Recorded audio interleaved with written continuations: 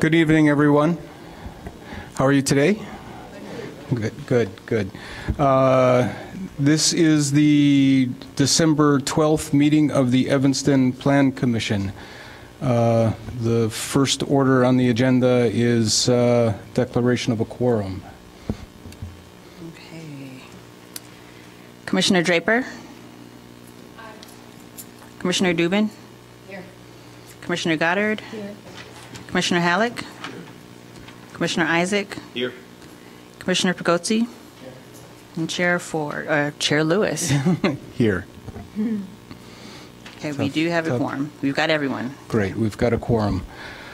All right, the uh, first order of business is a plan development at 1714 through 1720 Chicago Avenue, 18 PLND 0053. Uh, Oh, approval of the minutes. I'm sorry, I've, uh, I've, I've misstepped. All right, uh, the second order is approval of the minutes of the uh, meeting of November 14th. Is, does anyone have any comments, questions, corrections, alterations? Do I have a motion for approval? Second. Commissioner Isaac, second. All in favor? Aye. All against? All right. Now, backing up, uh, uh, we have uh, the plan development at 1714 through 1720 Chicago Avenue. Uh, Mr. Mangum, I I believe you're going to uh, present the petition? Yes. Oh, it's been a while, huh? Uh, So, uh, tonight, uh, we're going to, uh, going to, uh, the, the process will be, we'll have an introduction by, by staff, then there'll be a chance for the petitioner to present their case. At that time, uh, uh, the, uh, the commissioners can ask questions of the petitioner. Then we would open up the floor to questions from the public. Uh, People who are speaking from the public uh, are limited to two minutes, and, and the first portion will be questions of the, of the petitioner. So uh, there'll be time later on for statements, if you wish to gi- give statements. Uh, And uh, after, uh, after the uh, questions, we'll, we'll close the, close the hearing and uh, go into deliberations. Uh, So, so uh, with that, would you like to swear Swear them in now? Okay. All right. Everyone, if you're, if you are going to speak, I would like you to raise your right hand and swear that you are going to tell the truth.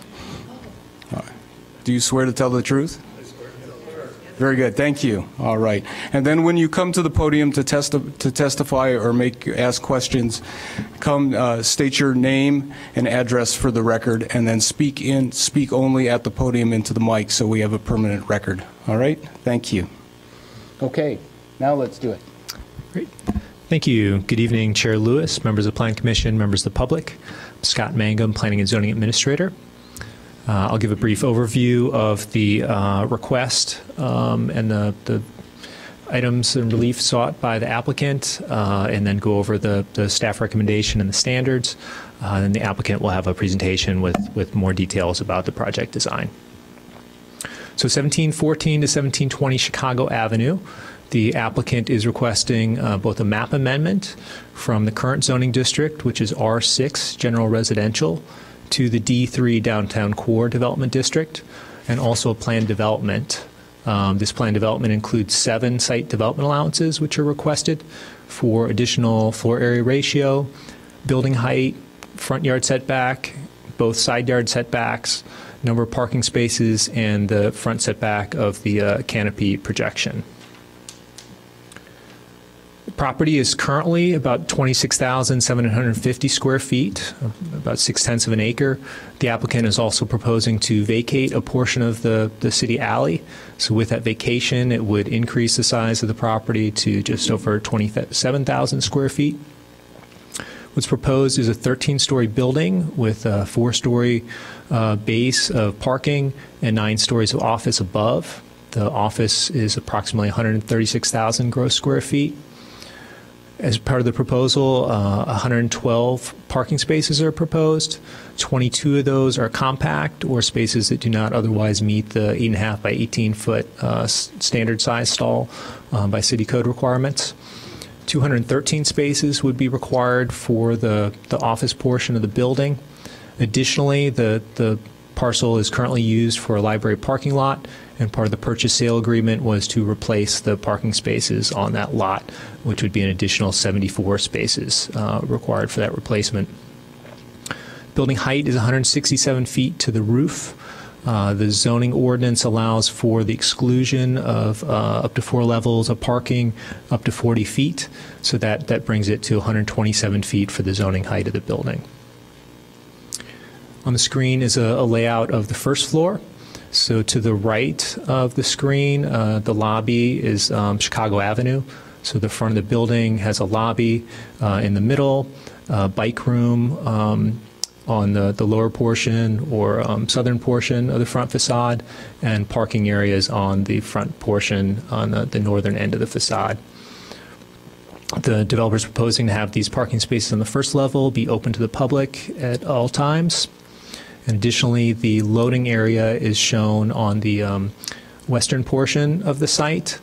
That um, diagonal line there is the current property line, so that is where the applicant is proposing to vacate a portion of the city alley to extend the building uh, over that right of way, and that's where the loading would occur with um, uh, trucks and, and vehicles, loading vehicles entering from the south into that loading bay that's oriented uh, in the north south direction, whereas um, vehicles for the parking would enter facing east uh, from the alley, the existing north south alley that uh, runs through the block from Church to Clark.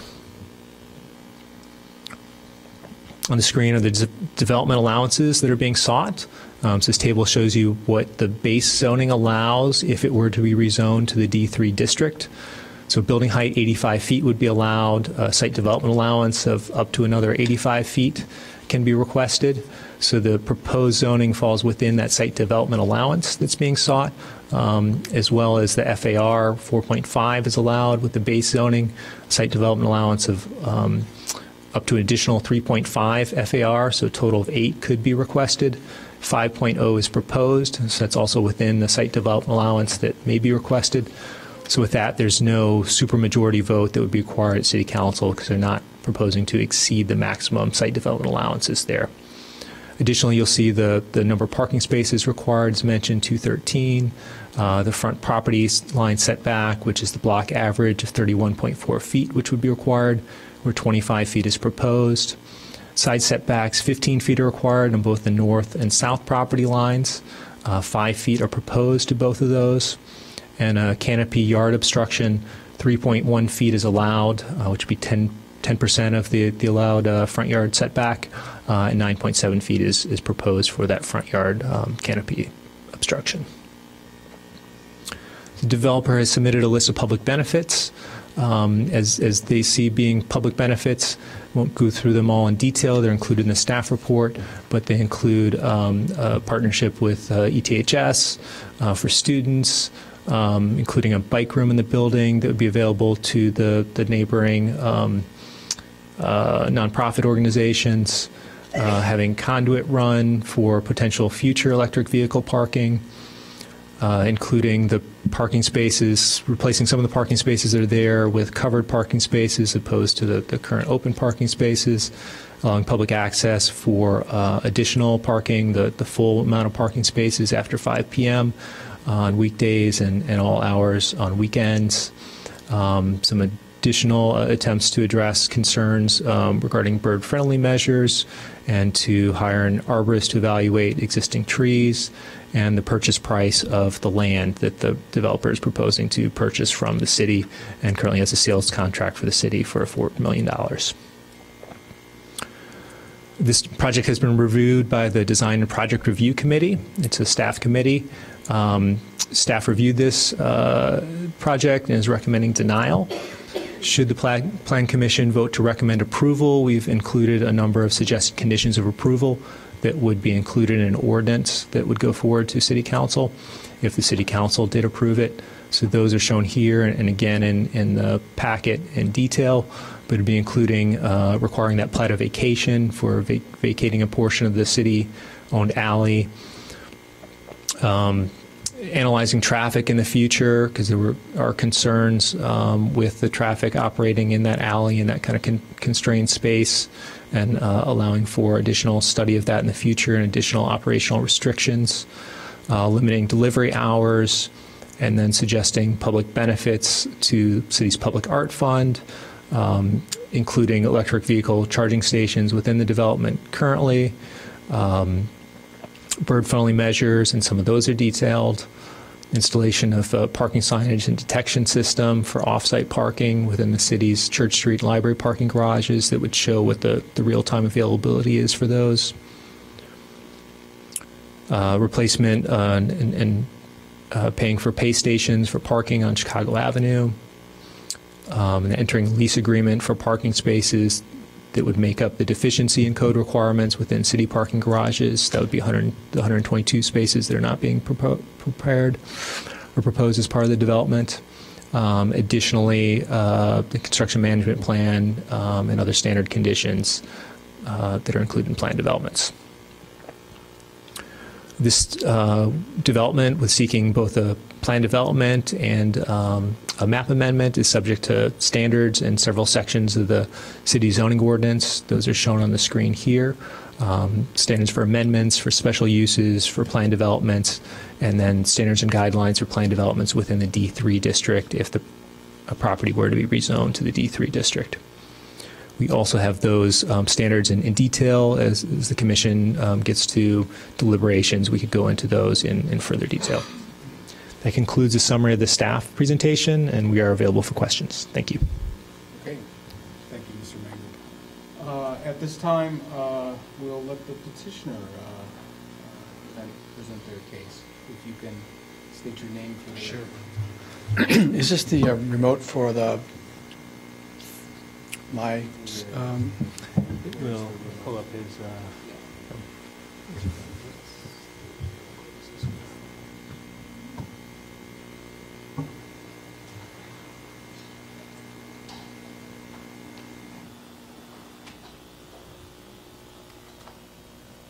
Oh, great.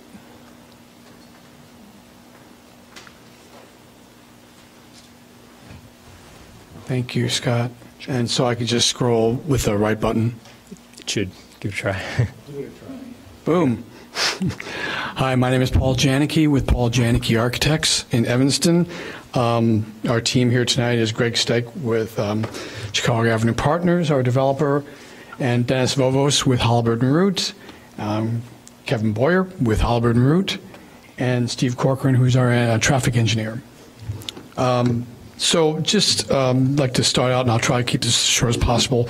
Um, We're responding to an RFP by the city of Evanston to sell their property uh, at the library parking lot for redevelopment. Um, Their own uh, RFP says the zoning change um, will be necessary, that the uh, requirements for this um, uh, uh, site should be a for-profit office building, which we are doing, um, a contextual development, which we hope we're doing, and a high-quality design, which we'll leave that to you. Um, Several developers submitted proposals, and this is sort of why the gestation, this period of this uh, project has gone on further. Um, Other uh, proposals were made and rejected by the community at uh, ward meetings. Um, We were then uh, contacted, and then we um, uh, teamed up with Halliburton Root to uh, come up with this design. Um, we also reached out to uh, numerous discussions with Frances Willard Organization, the Women's Club of Evanston, um, and um, last year the Women's Club of Evanston actually um, came here to support us. Um, I don't think that's the case anymore. Um, the site consists of um, two lots, as you know. It's um, let me see if I can get to uh, these slides. I'll try to get to them faster. You know the context. Uh, did you want to see some of these? Um, Some of the buildings we looked at, you know, downtown that we really admire and think of a high-quality architecture, the Marshall Field Building, um, the Carlson Building, um, Orrington, the Library Plaza Building. Um, Here's our site on Chicago Avenue. Um, And here is uh, the zoning map, as you see that our site is now in R6, but we're petitioning to be in D3. Um, This is a, a- an aerial drawing showing um, buildings that are over nine stories uh, in the general vicinity, and and our site is the highlighted blue portion in the middle of all that. Um, This is an aerial, again, of downtown without our building and the parking lot uh, without development, and this is um, a rendering with that building placed there. Again, this is a different view taken from the southwest uh, without our building, and then this with uh, the building um, installed. Um, Let me get to the site. Um, This, um, this vacation in the alley, uh, I'd like to explain a little bit if I could. Um, There's a couple reasons why we want to do this. Um, Actually, a few reasons. One is to get a loading dock that works um, more efficiently in the alley, um, that can be loaded more easily, and also, uh, if we didn't do this, we're going to start to lose um, our parking plan and our parking numbers, which are already very tight and lower than we'd like. And um, and, and that's why we're asking for this vacation of the alley and also the curb cut across the alley. Um, we had the, you know, everyone's, a lot of people are concerned about how the alley functions and safety of the alley. So uh, one of the major components we had is the fire department um, came out to um, actually drive a truck through the alley uh, to see how it would operate in the alley with the, uh, the footprint of the building um, that was actually at that time all the way out to the far lot line to the west with no setback um, and with the curb cut. Um, they said that was fine, that worked for them. But in the meantime, we had more discussions with them and we decided to pull the building back a little more to the east, another five feet to make that uh, whole intersection just a, a little safer. But we have um, approval and a letter from uh, the fire department, which we have in this new package. So let me get down to our deck. We, you know, we, we also determined um, to get a fishing loading dock and, um, and the aesthetics of the building not being a triangular end. Uh, we really wanted to rectangularize the back of the building just so it would still be a handsome, you know, edifice on the alley. We thought that was just as important as being handsome on the front end. Um, so we are asking for a 321 square foot vacation of the alley. Sorry. Uh, There are also um, truck diagrams that we had our engineers do uh, showing semi-trailers coming in and out, and um, those all look like they work, but those are also available in this packet if you want to review those. Um, So as you see in the studies of the parking, it was determined that there was a minimal parking load experienced during the daytime hours. This is about the, the surface parking lot um, for the library. Um, We did studies for a number of cars on three different days. Um, And we found out there was, um, you know, a lot of empty spaces in the surface lot and an additional empty spaces in the, um, the basement uh, parking lot of the library. Um, so our feeling about the parking is that if we took all the cars that were on the surface lot during the daytime hours and put them in the basement um, of the library, it would accommodate all the cars during the day. And on top of that, we were going to put 21 additional cars on the ground floor of our of our structure. I, one of the things we talked about um, as far as this development was was replacing the 74 spaces, and now that we have 112, the, the 74 spaces there need to be used for the library are in the evenings and on weekends. That is when we, we find out that's when the load is for that lot. And now there will be 112 spaces that will be devoted entirely to the public and for library users uh, after hours and on weekends. So we've kind of felt like that was a symbiotic relationship that, yes, we're going to be using a lot of those spaces except for the ground floor during the day for office workers, but at 5 o'clock they leave and all those open up and are used by the citizens. We also, you know, we looked at very hard at, at how to how to park, and, and it's a really difficult site. And and in order to get a, a building core, an elevator core, and a double-loaded um, uh, parking structure. Um, it, the building came to almost exactly to the point where we would have five-foot setbacks on either side, and that's what really drove the, the, the width of the building. Um, just if you're wondering why we got to that point. Um, the first floor, as we mentioned, has mechanical and utility equipment. Um, and we have the bike room, of course, which holds 50 bikes. Um, we go to a typical floor plan. Um, as you can see here, there are terraces, landscape terraces on the north and south at the first office level, and those are available to um, everybody um, in the bill. Um, let's get past these. From you know, from the beginning, um, our goal was to build a base that would be um, that would incorporate our parking garage, of course, but relate to the, the scale and the fenestration and the materials of our neighbors. Um, we're matching the brick and stone of the Mayo Design Women's Club. We also wanted to create a contemporary version of the front porch to have a conversation with the um, the other porches on the houses directly north. Um, this is a view looking north, looking south along Chicago Avenue. And these are the elevations, which I'm sure you've probably already seen, but tell me to slow down if you want me to. Um, this is um, a rendering that we provide to explain, better explain how the alley works. Um, there's a new crosswalk. There's no crosswalk now. We created a crosswalk with signage. Um, you you exit the garage here where you see the people with the stroller, and and now you have a, a place to go across. Um, there's a new stop sign that we're proposing um, at the uh, north end here, um, so that you have uh, kind of a place for people to stop and pause, so that there- there's a safety factor there as well. We feel. Um, this is again another character drawing of some of the materials. This is all steel, sort of a cage, you know, entryway with canopy. Uh, it's it's a cast stone on the bottom, a combination of cast stone and precast. Uh, the brick is normal brick size, not jumbo brick. It's to match the women's club brick. The spandrels are sort of a powder coated, um, call it a crenellate or herringbone, um, you know, striate herringbone, but the best way to describe it. I mean, you see more of the materials. Is the sidewalk that links Chicago Avenue through our property all the way to the alley. And then this is one of the terraces uh, facing south that's on the first level of office space. And here's sort of a close-up of how some of these mulls, these large mulls, kind of get attached to the building and how the spandrels work. And, and we want to use um, a lot of uh, mullions to break down the scale of these windows and not just have big glass openings. And that's pretty much what I had to say. Did you want to add anything? Okay.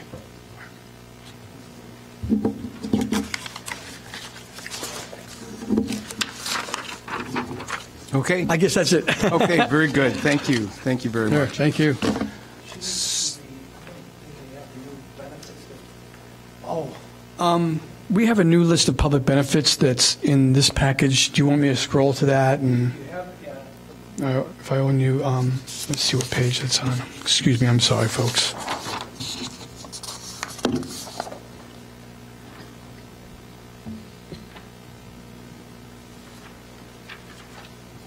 Yeah, page 71, wherever that might be. Whoop, I think I passed it. There you go. Thanks. Yeah, would you? If you can read that. I can't. Thanks. Thank you. Um, So when we went through DAPR, uh, two of the big reasons they said they didn't to give us a positive recommendation to Plan Commission were public benefits and, and, um, and the alley. And um, I think, Paul, you guys could see the packet. I, I, I'm not, the, I'm- I wasn't sure why the fire department chief wasn't that DAPR, but we have his letter. We, we spent three months figuring out the alley. But with public benefits, um, we were told by staff to reach out to the, the, the council to see what, what public benefits can go to each ward and, and remind, I have to remind you, this, this project's been going for about two and a half years. So uh, interest rates are up about 200 basis points. So this project is, we're, we're trying to keep it all together financially. So number one, the first bullet point we- that we left out of the DAPR uh, presentation, we're going to install landscaping treatment along the west side of Chicago Avenue to make a seamless transition with other landscaping in the immediate area. That's a new one. Installation of street trees in the parkway along Chicago Avenue, as well as mature trees on the terraces on the north, east, and south sides of the building. Replacement of and/or upgrading of the pavement of the entire alley in the back of our site. Um, That's a big one. That's, um, we did not put that in DAPR. Installation of new sidewalks from north lot line to south lot line. Installation of signage, and newly constructed crosswalk in the alley directly in back of the subject lot. Replacement and coordination of public and private signage, landscaping, and hardscapes to complement downtown environment. Exceed the minimum of City of Evanston set-asides for local labor, particular local MBE, WBE participation. Developer will coordinate GC to outreach into local city labor. Developer will outreach to local grammar schools for field trips, visits when completion. That was um, an interesting one. Um, and then everything else is, Paul, everything else is, is in the um, original list of public benefits. So I wanted to make sure that you guys got that. Well, the, the last, the last element, flag signage, um, so that we can record. Oh, yeah, yeah, yeah, yeah, that was left out. The, the, the last bullet, but provide signage to guide vehicles to available parking spots at library, basement, parking garage, All three garages. All three garages. And That's it. Okay, Thank you. Thank you very much. All right, I, I think I'm going to open it up for questions from the commissioners for the petitioners. Are there any questions? Commissioner Dubin, that's fine. Um, When the traffic studies were done, did you take into account the fact that a lot of people using that library lot are only there for a limited amount of time, an hour to two, and what that might do to traffic in and out of the alley? Uh, My other question is, when you assessed how much money would come to the city through a building, the housing office workers, that's based on the best of all possible worlds, isn't it? And is there, is there the demand for office space here that might fill the building? I'm going to let you end traffic, if that's okay, and defer.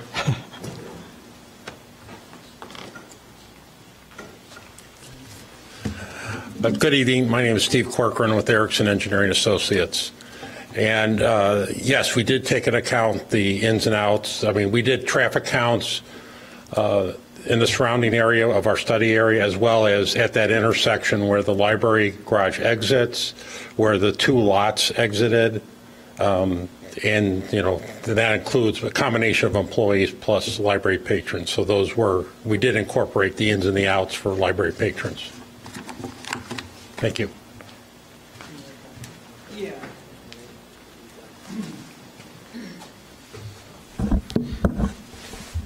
Class A office space in the city of Evanston is in high demand. That's why um, I think the staff issued an RFP. Um, um, There are many Fortune 100 firms looking to relocate um, to Evanston. A lot of the CEOs live in Winnetka and North Shore area, and they would rather not drive to downtown, and they would rather drive to Evanston. Um, We we're, we're, when we looked at the building, we'll probably have north of 500 employees every day. Um, Now, the industry standard for spend, what, what will office um, workers spend per week in the downtown Evanston area? Well, um, what, what I'm seeing is they, they'll spend anywhere from 15 to 20% of their salary just eating out every day. Um, What does that mean for the city of Evanston? Probably anywhere from two to $3 million of money spent in the downtown area. Commissioner Halleck, please. Yeah, I've got a sort of, excuse me for my voice, I, I can't talk tonight, but I'll uh, force it out. A couple of, a couple of follow-up questions. Um, when you say there's a demand, the, the, but the, I think the question here is the, amount of square feet that you're that you're proposing to build, and what what two-part question: What is your planned absorption rate? In other words, do you think it'll be two years, ten years before the building is fully occupied? Uh, because that gets to the to the volume, to the amount of, of space and the amount of floors and all the other issues. Second related issue is what you, you have a very minimal amount of parking for the office space, I think. And what is the typical ratio of square office square feet to uh, to parking? The typical is roughly a thousand square feet of rentable to per employee or per parking spot. So um, we felt, and Paul, we could talk about this with the the TOD development. We're we're a block away from the Purple Line, and we're block maybe two blocks away from the Metro. So that we consider this a TOD development, transit-oriented development. Um, what we're hearing is that having roughly 112 spots for 130,000 square feet of rentable space is right around industry, 1,000 square feet per parking spot. Uh, what was your second question, or what was your first question? Uh, the first question was parking, but uh, the absorption. Oh, well, we feel that there'll be roughly a 18-month construction schedule. Um, We will, we should have 50% of the building leased before we start, we break ground. And by the time that the building is, um, where I get a certificate of occupancy, we should be at 75 to 80% filled. And that's based on a, a study of some sort of a market study. And could you share that market study with us? Sure, we got that from a number of brokers, so yes.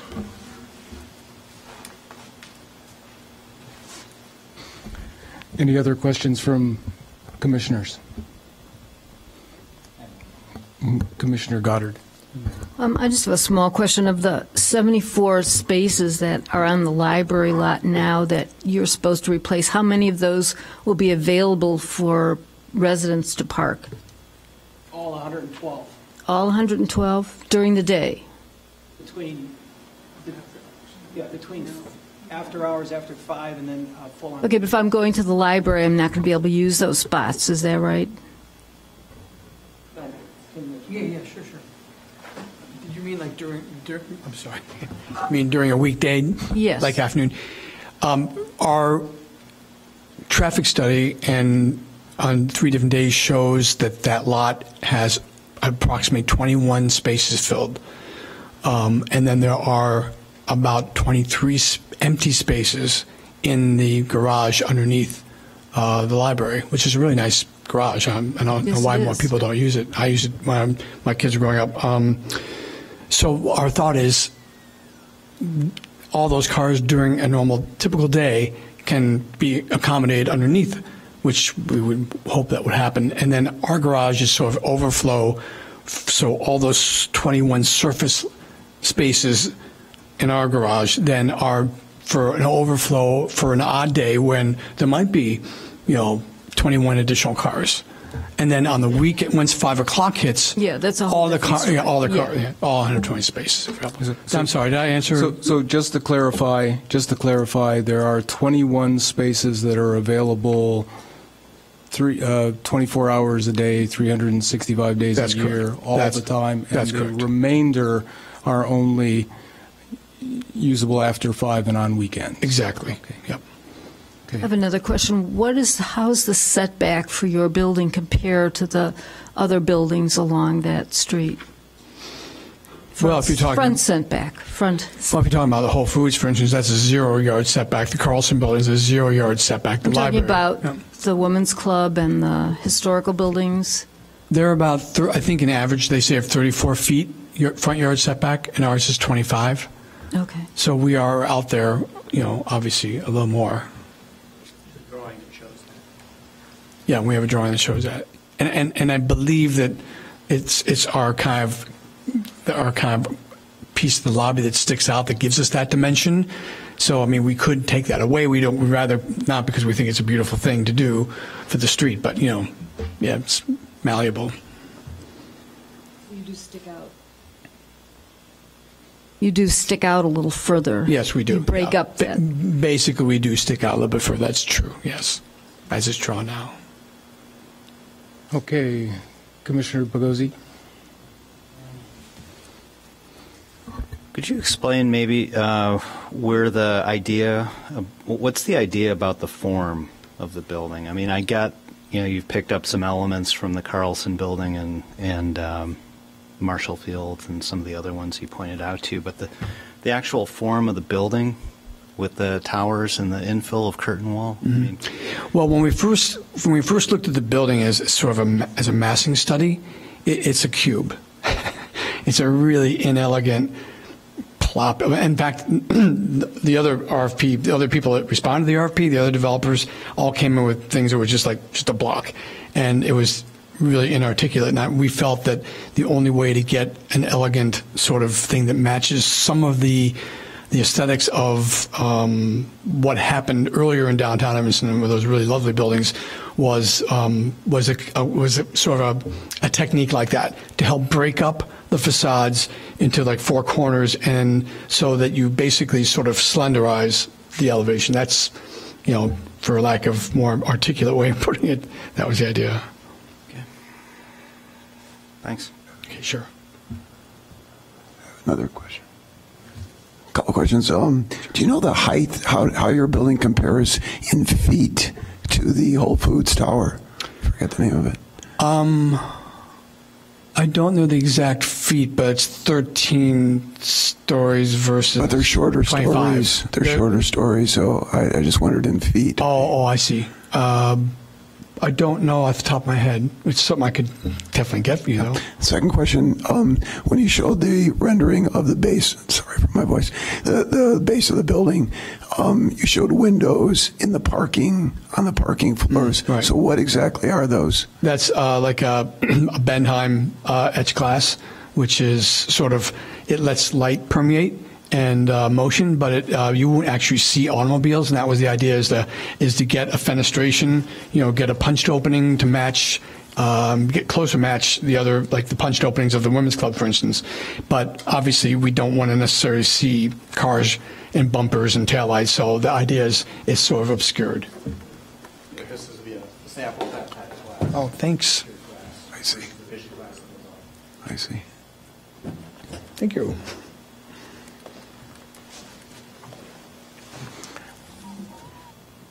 I see lots of lights on. Has anyone actually going to, uh, Commissioner Draper, thank you. Um, you spoke about the boundary to Chicago. You're proposing only being five feet setback from the side boundaries. So, what is the condition on both of those with the adjacent properties? How far back are they to that boundary? And is there a bit of a, a space? What's the setback from those? Uh, I think the house just to the north of us, and you know what? We just probably find it. Um,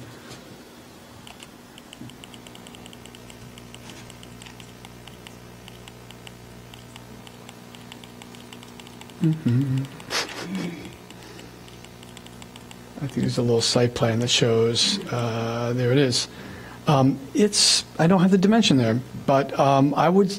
I hate. I don't want to say guess, but I would think it's probably around 20 feet from the face of that building to our property line.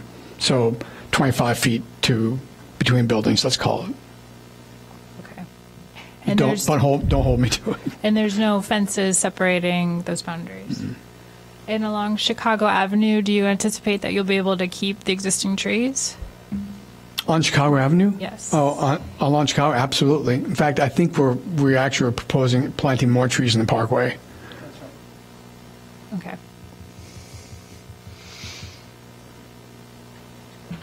Commissioner Goddard, one more, one more time, or just uh, errant light? Okay. Commissioner Isaac?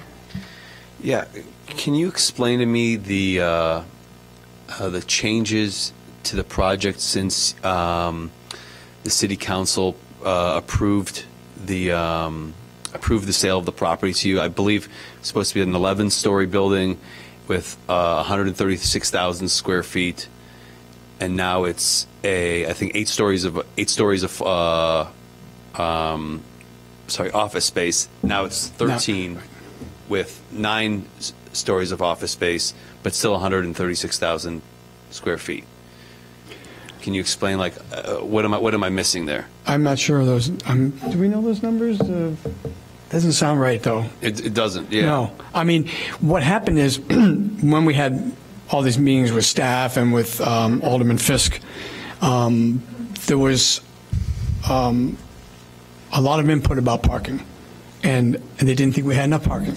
And parking was a really big thing.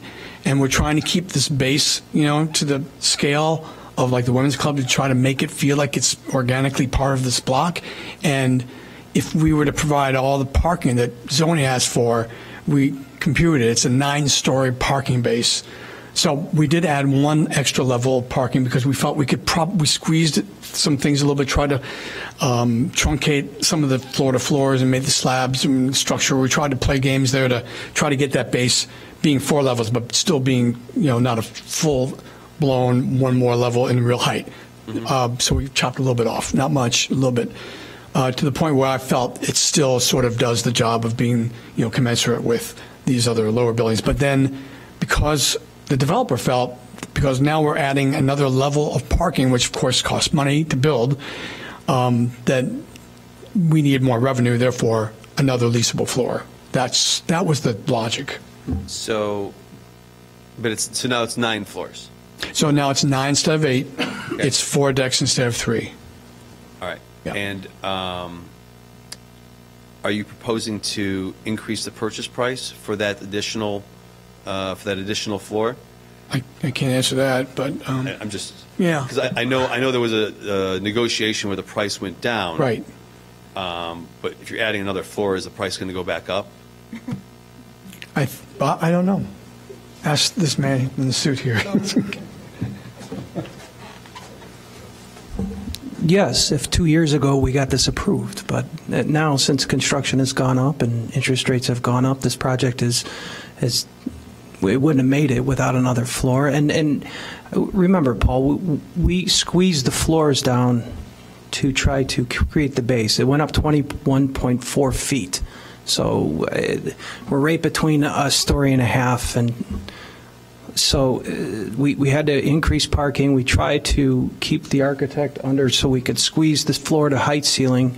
So we kept the same front elevation where we weren't, there wasn't a big parking deck for, next to two buildings. And we tried to, we tried to keep the, we went up, uh, not, we went up another story in parking, but we tried to keep, we squeezed the, the building down so we can go maybe a story and a half. Um, So yes, I would have paid more two and a half years ago. But right now, the way interest rates are going and the way the construction prices, I- it's, it's thin right now to make it. Uh, a few more questions. Um, with respect to uh, parking, um, I understand that you're you're saying that after five o'clock, all the spaces will be available. Yes. Uh, for public use. Right. Um, I I currently park downtown, Uh-huh. and um, you know I work in an office of maybe like thirty-five people. Downtown And- Chicago? Downtown Chicago. Oh, okay. Sorry. Um, and my office probably rents six, seven spaces um, in a parking garage next door. And we have parking from, I believe, like 8 a.m. to 9 p.m. And it's, it's uh, frequent that the people that are parking there um, are staying there until 6 or 7. And I'm wondering how you, like, if you're going to be getting, if you're looking at getting Fortune 100 companies, you're looking at getting people, CEOs that are potentially uh, going to be working past 5 p.m. Sure. Um, how are you going to be policing that? I mean, if they're going to rent, if they're going to rent your office space, I presume they're going to want to have parking, and they're going to want to, when they pay for it, they're not going to want to make sure they're out by five because that doesn't work for um, for them. So I'm wondering how. You're talking about some employees might Oh. stay later than five o'clock. there's there's really two issues, right? So we have the employees that maybe um, the the tenants that you are going to rent to. Those employees aren't going to get parking from their employer, right? But they may n- nevertheless. Um, there's, there's going to be 500 employees, right? 500 people working in your building. Um, and some employees, a good majority of them, will not be uh, not have parking from from their employer that they've purchased inside the building. They will nevertheless show up and park as a member of the public in the building. Okay, that's just that's going to happen. I, I don't know what at what rate they're going to do that, but it's going to happen. Um, and so the number of available spaces to the public is not going to be the number that you quoted. It's going to be less than that. Unless there's some sort of mechanism that you have to have a shit that you, you get, you know, verified, or I should say, what's it called? Not verified, at the library, that you actually have used that space and now you go into the library and you get your card validated, for instance.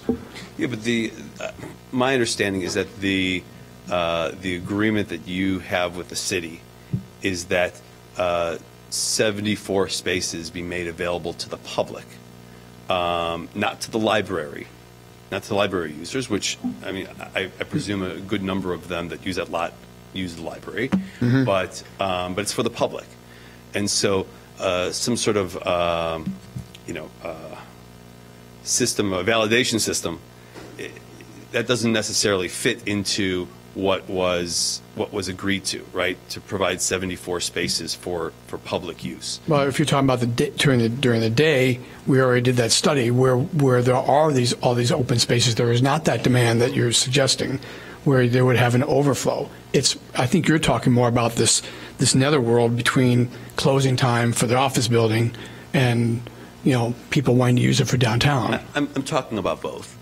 Um, but you know, going back to the you know this this time between let's say 5 and 7 p.m. Yeah. Um, I'm, I don't understand how you're going to. I don't either at this point. I mean, I guess we'd have to work with our parking consultant to figure out if there's some way that I don't understand, because that's not my expertise. But I, I understand what you're saying, though. I, I get that. Yeah. And then what what uh, what kind of cars can fit into these compact spaces if they're not like if they're not uh, legal um, city of Evanston zoning spaces? You know what what can actually fit in there with a car with a door opening on one- at least on one side? I know Just- I know parking's built tight these days, right? Yeah. So I understand no one's going to be able to build a space where all four doors open up. Like that's understandable, but these seem to be narrower and shorter than than what's what's normally allowed. And so, what kind of cars actually fit there? Well, actually, the city of Chicago, that, that exact space you just described, Okay. is considered a full-size space in the city of Chicago for their zoning. What what are the actual? It's uh, like I think uh, it's eight instead of eight six, maybe. Yeah, It's eighteen. Yeah. uh, so it's 18 long. I think it's eight by 18, is that correct? Eight by 18 in Chicago is considered not a compact space, and we only have 20 of them. Now, we can get rid of those compact spaces in that, you know, because there's only so much room between columns, right? You know that. Um, So we get one less car per level, so we lose four cars. I, I don't want to lose four cars, but if that's such a big, I mean, my feeling about this country and, and the idea of people using huge gas guzzling oversized cars and not just using like their Fiats and their smart cars and like my little rabbit I have, that seems to me, I know a lot of people have smaller cars like that and those spots are perfectly fine for that. They're, and we're not saying 100%. We did, you know, we actually had a lot more compact spaces in our last proposal. We had way too many, in my opinion. Now we only have 20%. okay, but but it, they're eight feet wide. They're eight feet wide. Okay. Okay. Yeah, sorry. Sorry, your question, yeah. Sorry. Um, and then as far as tenants, you you don't have um, uh, tenants committed for the project yet. I have to defer to Greg, I'm sorry. We did, but um, since the entitlement process took two and a half years, we lost um, 50% of the building, but um, right now, what I'm hearing from the brokers that we're, we will have shortly um, I don't want to call it an anchor, but at least a quarter of the building secured, and then I think we'll, we'll be 50% full before we close on the property. Is, is that your, uh, is that going to be your financing requirement? 50% uh, leased? No, we, we have the, the money to close on the lot tomorrow. Um, I meant, I meant for construction, for construction. I'd rather not say in public, but Okay. Is that, I'm good. is that all? Mhm. All right. Any further questions from commissioners? All right, at, at this time, I'm going to acknowledge that we have uh, received a request for continuance uh, which is the right of any property owner within a 1,000 feet, and it's been verified that that property owner is within a 1,000 feet. So, uh, uh, what we will do from here is, uh, uh, we normally would uh, uh, ask that people who would like to ask questions of the petitioner can, can do that, can do that now, or they can wait until the time uh, that we reconvene at a date certain. Uh, uh, So I'm going to uh, open the floor up to anyone who would like to speak uh, in the order uh, that they signed up. And if you would like to ask, if you would, if you would like to ask questions, uh, I will allow you to ask questions at this meeting and at the continued meeting. But there, at the time, if you would like to also make a statement, uh, you can only make a statement either at this meeting or the next meeting. I'm allowing statements now because there might be people who do not want to come back to the continued meeting, and I'd like you, like your voice to be heard. So, uh, so right now, I would uh, uh, ask if uh, Vicky Burke would like to speak, or would like to ask a question. Okay, all right. Uh, Marcia Kerr? I was going to speak, but I think I'd like to delay it. Okay, and- yes, okay.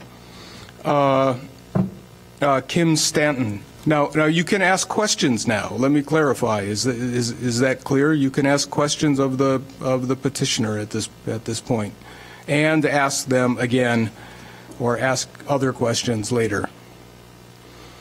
All right. Uh, So Kim Stanton, So I just have a question of clarification.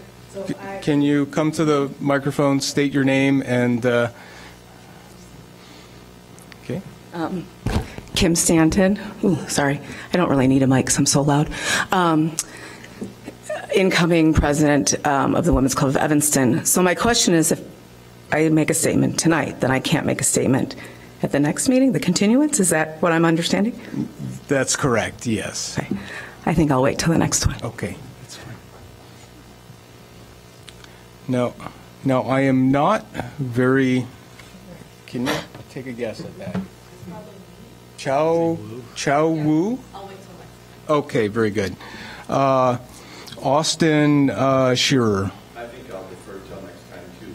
Is there any indication of when the next meeting? So, so the next meeting, uh, regularly scheduled meeting is January 9th. And so, so uh, one thing I should clarify also is that the public uh, notification process has been, uh, has, is, has already been done for this meeting. So there will be no further required notice that the meeting, other than continuance to the 9th, all right?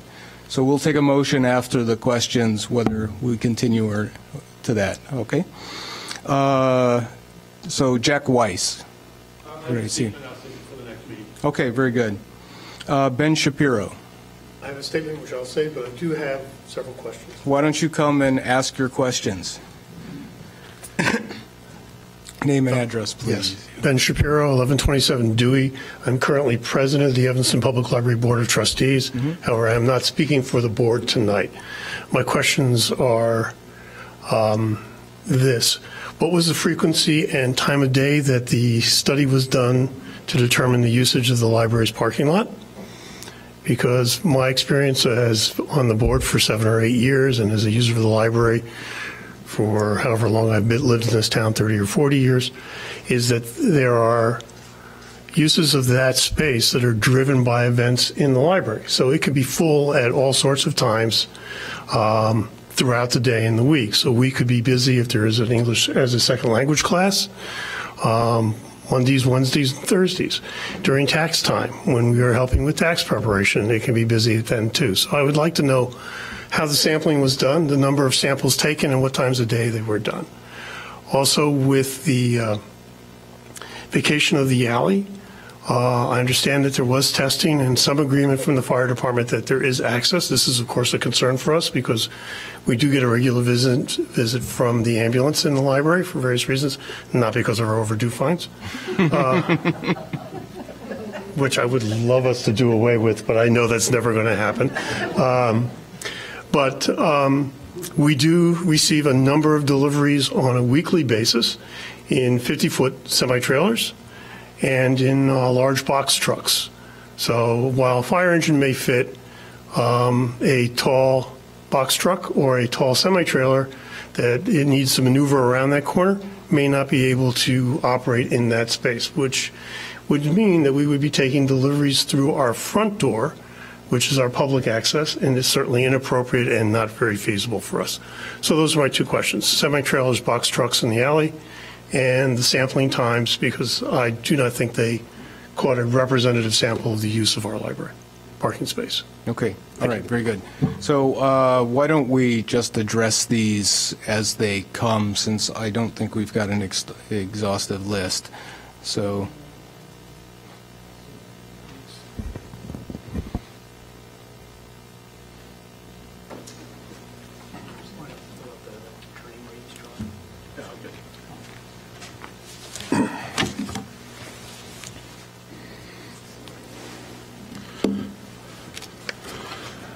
So to answer his, uh, again, Steve Corcoran with Eriksson, to answer his first question, uh, we did a parking count.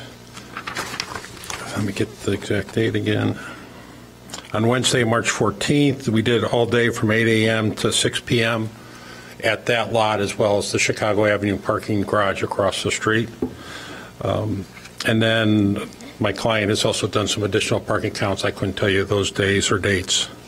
Um, In terms of the uh, deliveries to the library, we did look at that for uh, semi-trailers. Um, Am I going the right way, guys? Yeah. All right. Um, no, actually, going the wrong way. Oh, okay.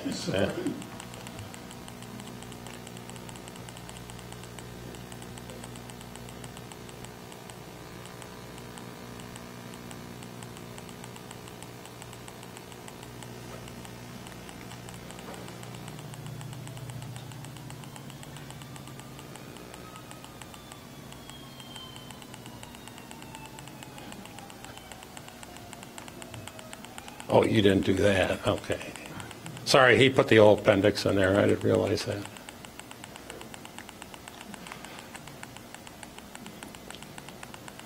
so these are turning templates for access to the library delivery. Did your- Yeah, we. And we- yours, We did three sets. Uh, One was for the library using their design vehicle that he mentioned, the 50-foot trailers. We did one for our delivery loading dock, and then we also did the fire truck. So, so I'm going to go through all four, all of them real quick, just so everyone knows what we did. So this is um, entry to our loading dock. A truck comes in off of Clark, comes down the alley, goes through the S curve, so to speak, and then backs up into our loading dock right there. So we can get a semi-trailer into that dock. Now, the reality is of an office building this size, there's going to be very rarely semi-deliveries, but we did do it. It's going to be typically box trucks from day to day. Here is then the uh, exit for, again, the building's delivery truck. It comes out of the dock, goes straight down the alley, and then turns onto the street system. Here is the library. Uh, Again, we use a slightly bigger semi per uh, information we're given on the size of the semi. A truck comes in off the street system, just like it does now. This part's all existing, goes through the S-curve, comes to the alley, and then backs up into the loading docks. The loading docks are right in this corner right here. And then conversely, when it's done, it leaves the dock, it goes straight north and turns on to the street.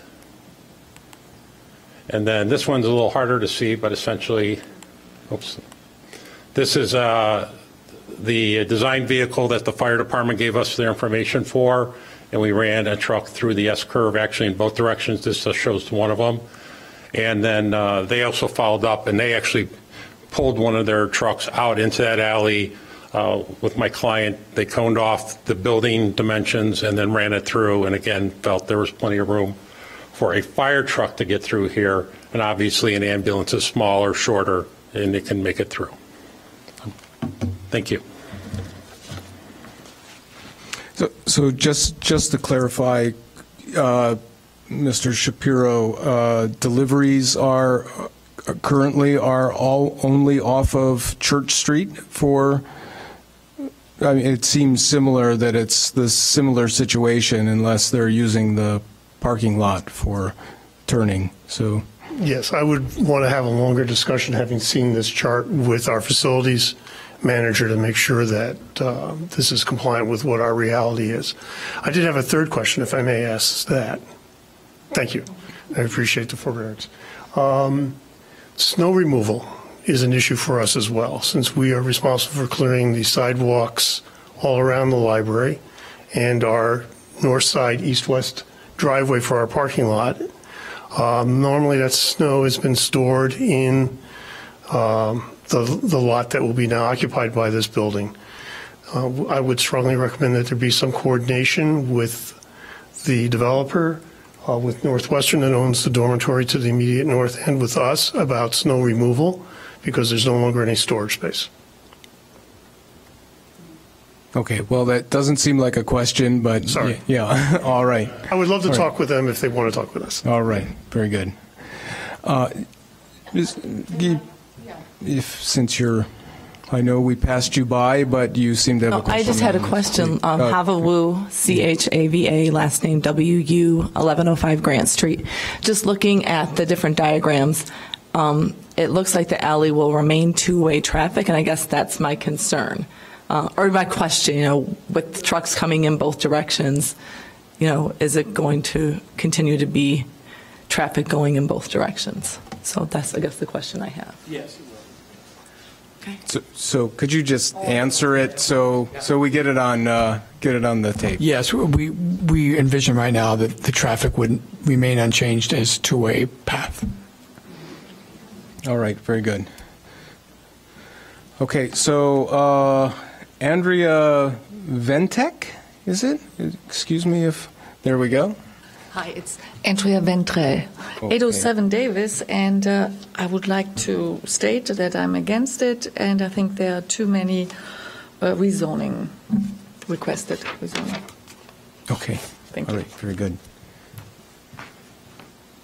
Uh, Glenn Madeja.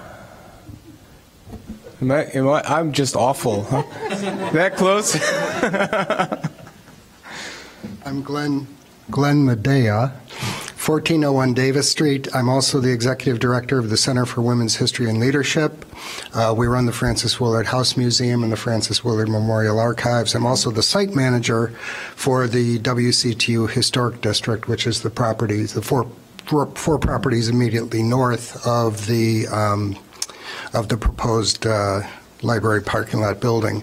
I'll defer on my um, comments, but I have a question about the tree protection plan. Um, there's one column that's headed protected tree question mark, and these are all trees that are on our property on the on the borderline on the north.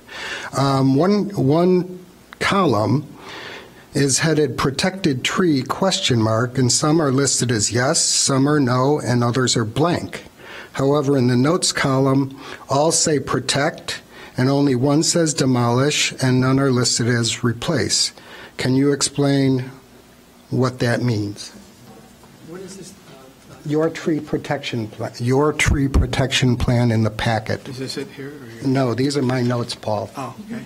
Um, I'm not sure exactly what you're referring to. I know we're supposed to have an arborist come out. Oh, sorry. Nope, I'm blocking. Um, We're supposed to have an arborist come out and do a study of those trees, I know that. Um, And so what is your question then? I think I stated it. Um, One column says protected tree, and some are listed as yes, some are no, and others are blank. In the notes, it says protect, demolish, or replace. I think it might So be it's, Dennis. there's a lot of inconsistency, and it's hard to understand. Yeah, we, uh, Dennis Fovos with Holabird and Root, we're uh, Paul's associate architect.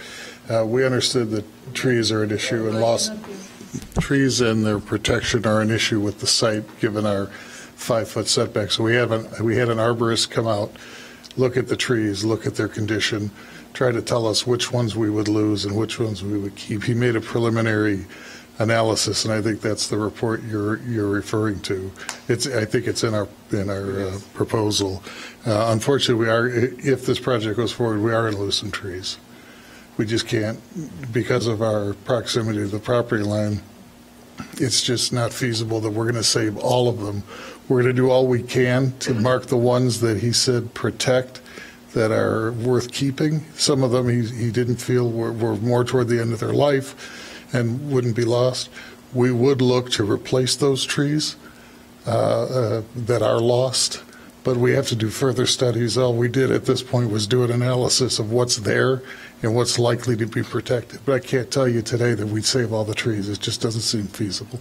No, I, I understand the trees will not be saved. I do understand that. My point is, a number of these are stated as either protect or demolish, and none are replaced. So this is my confusion. So that's and- really my question. Yeah, And I understand your confusion. The, the purpose of the arborist report was to just uh, try to tell us the status of the trees that were there so we could develop a further plan for replacement. So the report that's in there doesn't really address replacement of the trees. Okay. So that, I understand your confusion. Thank you, Mr. Volos. Uh, Can I, can I ask a question of staff, not expecting you to, uh, to uh, respond now, but can, can you clarify what is the, uh, a tree that has roots that obviously extend over a property line? Whose roots are those? I mean, I mean, ser- seriously, I mean, I mean, is it your right to, uh, you, you, I, I've actually run into this situation. Okay. And um, just a very, uh, very brief um, research on the topic is that um, it all depends on where the tree comes out of the uh, out of the ground, and if it's uh, if any portion of it is on uh, more than one property, then the tree is co-owned, and you can't affect it in a way that um, that would you can trim it, but you can't affect it in a way that would destroy it without uh, joint approval. That's my very limited understanding of it, but obviously the uh, law department can can confirm that. All right, so if we could, if we could find out whether a tree sitting wholly on an adjacent property can have its roots destroyed in such a way as to destroy the tree, you know, do they need to seek request or what, whatever the, you know, whose ownership is it in, once they pass? So, okay. All right, uh, only a couple of more names on the list uh, for uh, either questions that you can return again and ask, uh, make your statements, or make a statement and give up your right to make a statement later. So Sharon Shostak? Sarah, oh, okay, got it.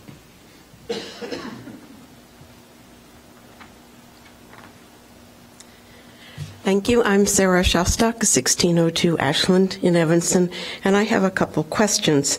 Um, one, I don't think that I have seen the copy of the fire department letter. Um, that hasn't been available in the packet that I've seen. Is, can that be provided? Um, my second question um, there have been uh, statements about conversations with neighbors, but I've noticed that the McManus Center is not really shown on many of the drawings, and their loading dock and parking ramps are not shown. Has Northwestern been consulted, involved in the process of meeting with property owners?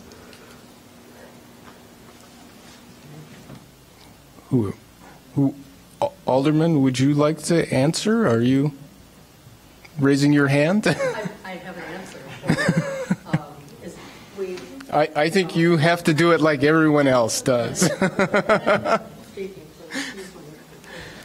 I was dog walking. so- Thank you.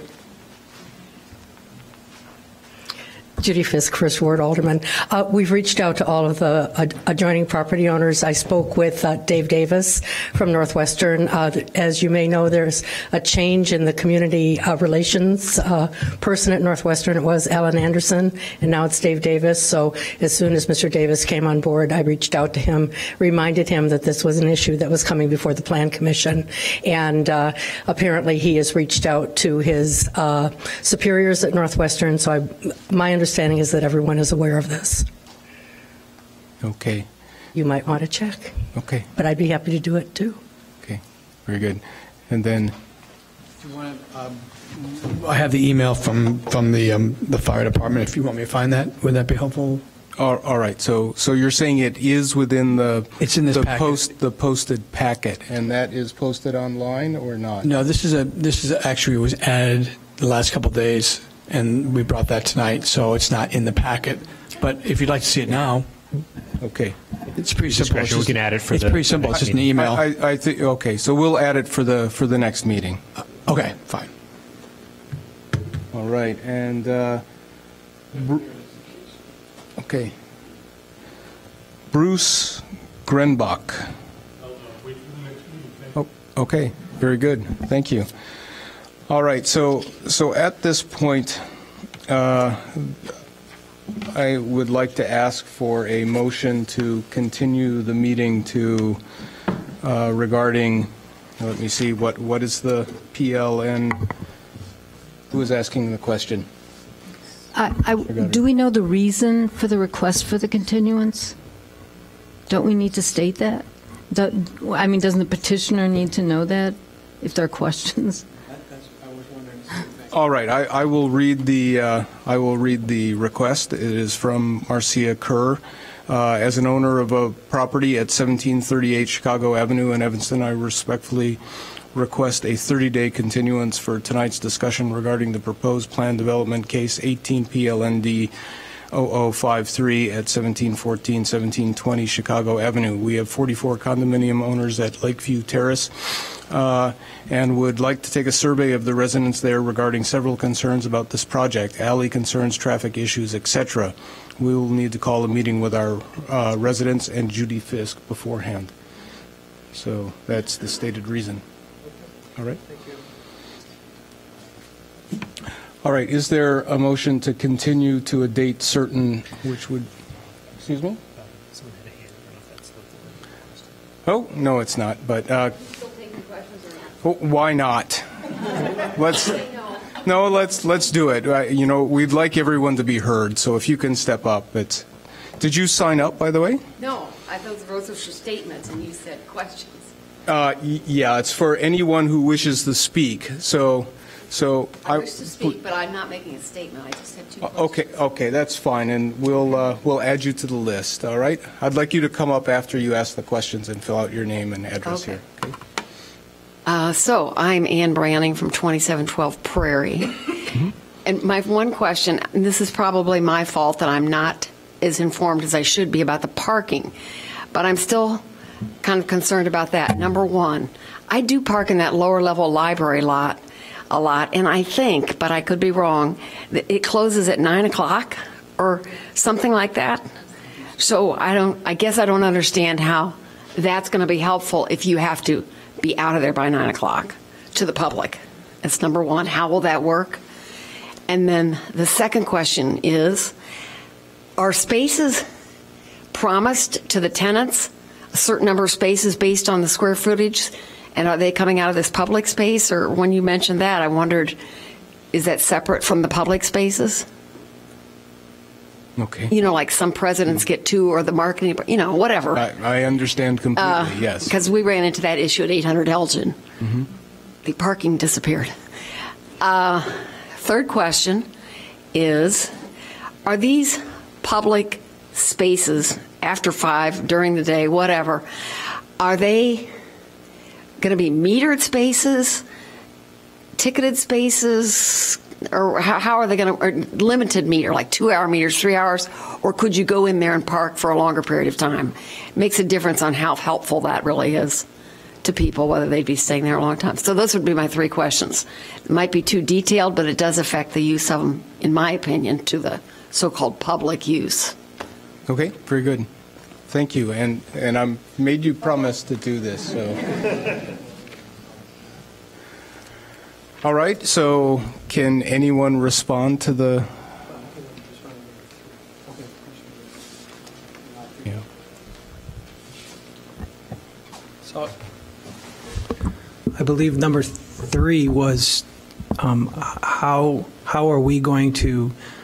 We were mandated by staff that the um, the, charge and and how the the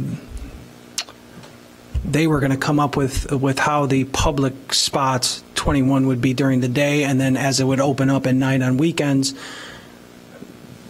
same they would determine how much it would be whatever it is a dollar every two hours I, I don't know what it is right now but we can't divert from that. So when we said we would replace 76 they, sometimes you know um, they would tell me as the developer, are, are we going to get a ticket and then pay at the pay station, or uh, it's it's now changing a little bit, but th- that's dictated to me by staff. So how that public parking on on weekends and after five, and the 21 spots during the day is being mandated by staff to me how we're going to do it. Does that make sense? Okay. Okay. You, you might also be able to address how how the limitations would be on the public premise spaces to lease spaces, and I believe uh, Commissioner Isaac was addressing how that issue issue was that that that there, there's a certain amount of spaces that you're mandated to make public, and that those, in theory, doesn't seem like they could be leased. Uh, I think is the implication. You know, getting to them being fully occupied without having public access. So, has there been any thought to?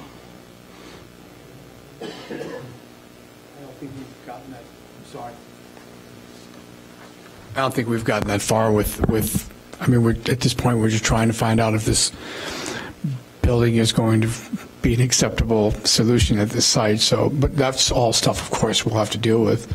Um, But the other question about, um, you know, the parking at, at night, where, I think, that- what was the question about whether those the library, the library closes the At nine, but this garage would be 24 hours, so, so you would have, Yeah. you'd have basically be able to park there, any library patron could park there as long as they want, basically, after hours. I think that's, the that's the concept, I think. Yeah, so That makes the, sense. the library parking is for the library itself and is dedicated. It's not public parking. Can I ask staff? Is it, is it public parking that's open? But it'd be definitely Closes at everything. nine. Okay, okay. Mr. Shapiro, are- can you? And the director will jump up and correct me if I am wrong, I hope. Thank you. Uh, The library lot pretty much corresponds to library operating hours, so it is, it closes at nine Monday through Thursday, 6 o'clock on Friday, and since I ride my bike on the weekends, I have no idea what our weekend hours are. Um, So in that cases, if you're coming downtown for dinner, the library lot is not an option. Okay. What happens if somebody parks there and it They get their car the next day. I see. Yes, yes. Okay, so that, so that's a fact. It is. Happened to me. If Okay. And if I may ask a question. Oh, oh, Okay, one, one more, and that's it, and then we're gonna, and, and, I'm Lucia Guridi, 1226 Lake. I live in Wilmette, but I'm a member of the Women's Club. I'm speaking for myself today. Uh, I do come to the Women's Club on a regular basis and uh, park at the outside parking lot, not the underground, uh, which is something important to note. They were talking about the underground, not the one outside. Um, if we're going to lose that, what kind of security?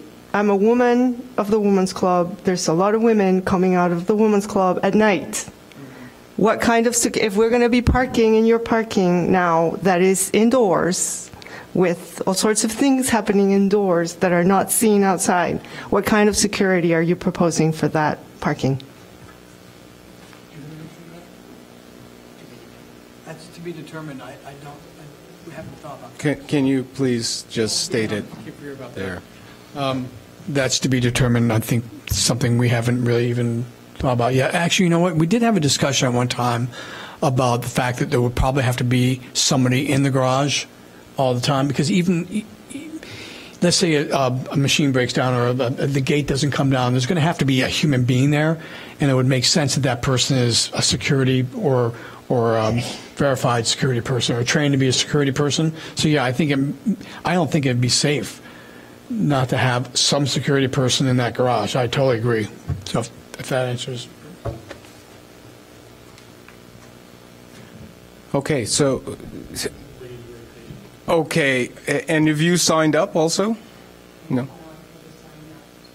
Oh, okay, can you come and then please sign, sign, give us your uh, name and address also for the record? No, she didn't, and I'll ask you to sign too. yeah. Hi, my name is Janet Steidel, and I live at 1401 Davis Street. I have two questions. Um, can additional details be added to the plans on pages 52, 54, and 200 through 204 of the Plan Development Application, and the same ones in the uh, Plan Commission packet on pages 41 and 43 to help further depict existing conditions along the alley? including two underground parking ra- ramps and a 40 inch high back platform, including exterior sta- stairways along the alley at the back of the McManus building, a 48 inch high back stoop off the WCTU administration building, the underground parking ramp for Lakeview Terrace condominium building, and the surface parking and loading areas at the Women's Club of Evanston, the WCTU campus, and the back of the apartment buildings along Clark Street? That's my first question. And um, my second question is Can the alley center lines shown in the perspectives on pages 39 through 41 of the plan development application, which are pages 28 through 30 of the Plan Commission packet, also be shown on the plans in on the pages 52 and 54 of the plan development application, and those are on page 41 and 43 of the Plan Commission packet. That's all I got. Can they be added to the drawings? I'll sign. Okay, so, yeah, thank you. That's, those are very long questions, aren't they? Okay. Yeah, I'm not sure there are physical center lines on the alley, but uh, not, In the drawings, in the perspective drawings, that, and they're, yeah, I- they're great, and they, they, they should be made out of so I, I think maybe they're proposing it, but I don't think, uh, I don't think it is part of the existing. Oh, are we just talking about the traffic stripes and stuff, or? I think traffic stripes in question two, yeah. Well, share. Great.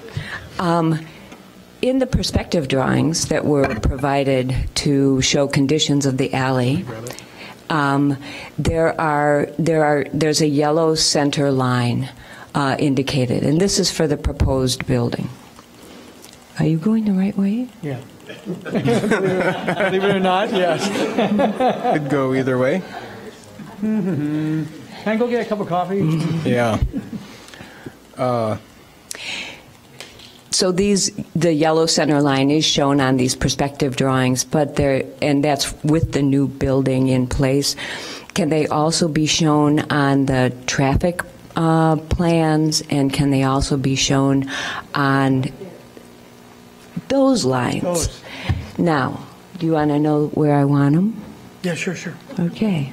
There's a little pointer thing too. I think. Oh, gosh. Okay, so you see those lines? Yeah. And um, they have conditions in the alley. Uh-oh, I think I might going Oh, oh, oh. I am going wrong. Too many things. It's because I don't have lines in the alley. Yeah. uh, I'm sorry. So, It's all right. Oh, oh. So I think it's this one. There are no those those yellow lines are not indicated in the alley. Drawn. Yeah. Yeah, yeah, sure. Yeah, and then um, I would like them to be drawn particularly on this one Yeah. because I think it will help people understand more the pathway through the alley. Sure, sure. all right, so the purpose is the pathway, pathway, so maybe the turning template for those trucks could be enlarged is the...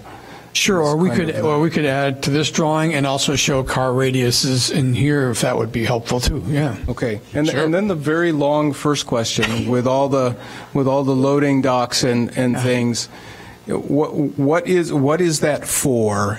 S- Well, I'll tell you that what I think is important is that um, the two uh, ramps to underground parking at the McManus, McManus Center, which are on this alley, they are not shown in the drawings.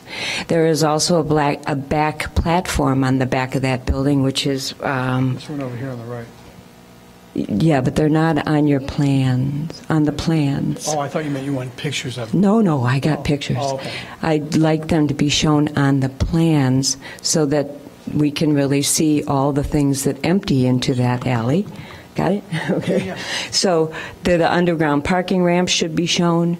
Uh, the black, the back platform on the back of the building should be shown. There's a stoop on the back of the WCTU administration building that sits right at the alley line. I think that those would give a better impression of how tight that alley is. Plus, there are surface parking lots and delivery areas at the Women's Club site and also at the WCTU um, um, historic site, there are two parking, surface parking lots that I think should be shown because they have traffic coming in and out of there as well.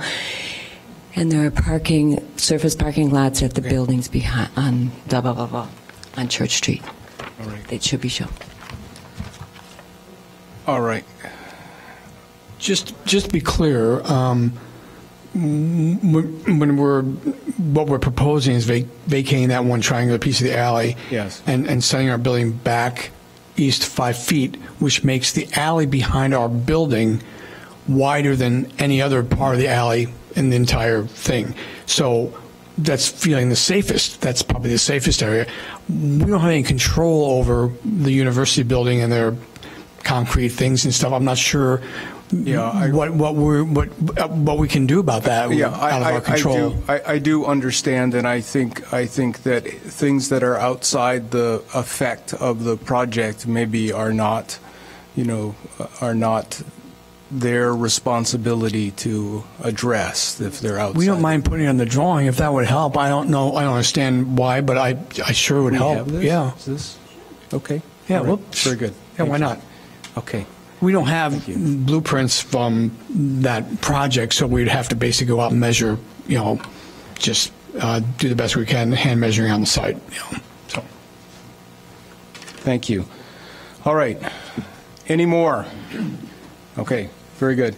Is, so we need a motion to continue, uh, continue case number 18 PLND 0053 to a date certain of January 9th, 2019. I so move.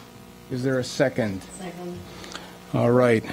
Uh, Do we need a, a voice vote, or, or, or do we need a roll call? Is it a roll call? The voice, okay, so we're going to do a voice vote. So all in favor? Aye. Aye. All against? All right. So that will conclude this case, and it will be continued to the next regularly scheduled Plan Commission meeting on January 9th. Thank you, everyone. Yep, I think that's fair. So we are going to take a two-minute break for anyone who wants to stay for all the exciting things that are going to happen afterward. Can I, can I ask one question about the continuance? How many continuances are allowed? Just the one? So it can't be continued beyond next? Okay, one, one by neighbors, yep. How many continuances? Okay. Okay.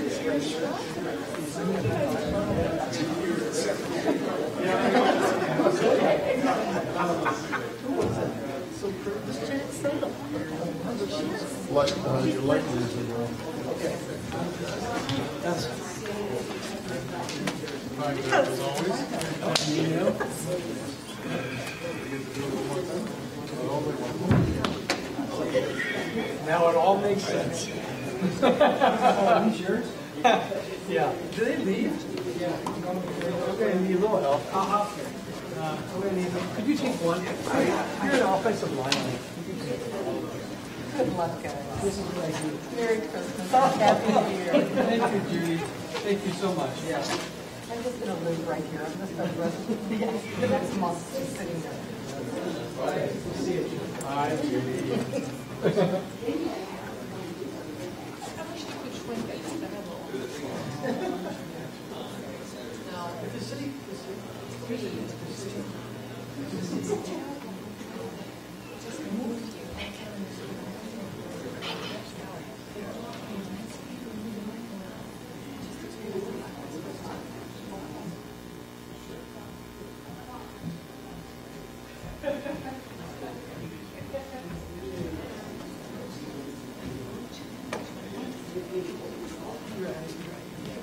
This is my husband, John. Meet you. So I just, I, I had a big to-do with uh, John Stein today. Was that on Monday night, Peter Braithwaite and I left the room at working with the developer and the architect over the extension to the, and which was, of course, never happened. Never happened. And so she, so I had an email exchange with her today. about civility and stuff like that. She's the wife of Glenn Love, with Dana Harmon from the Frances Willard. She needs to disclose that she has, she has a professional personal and financial interest in this. And she really, she really does. Somebody needs to know that, and I'm not gonna tell her. But it's, um, All right. I think we will reconvene if we can. So.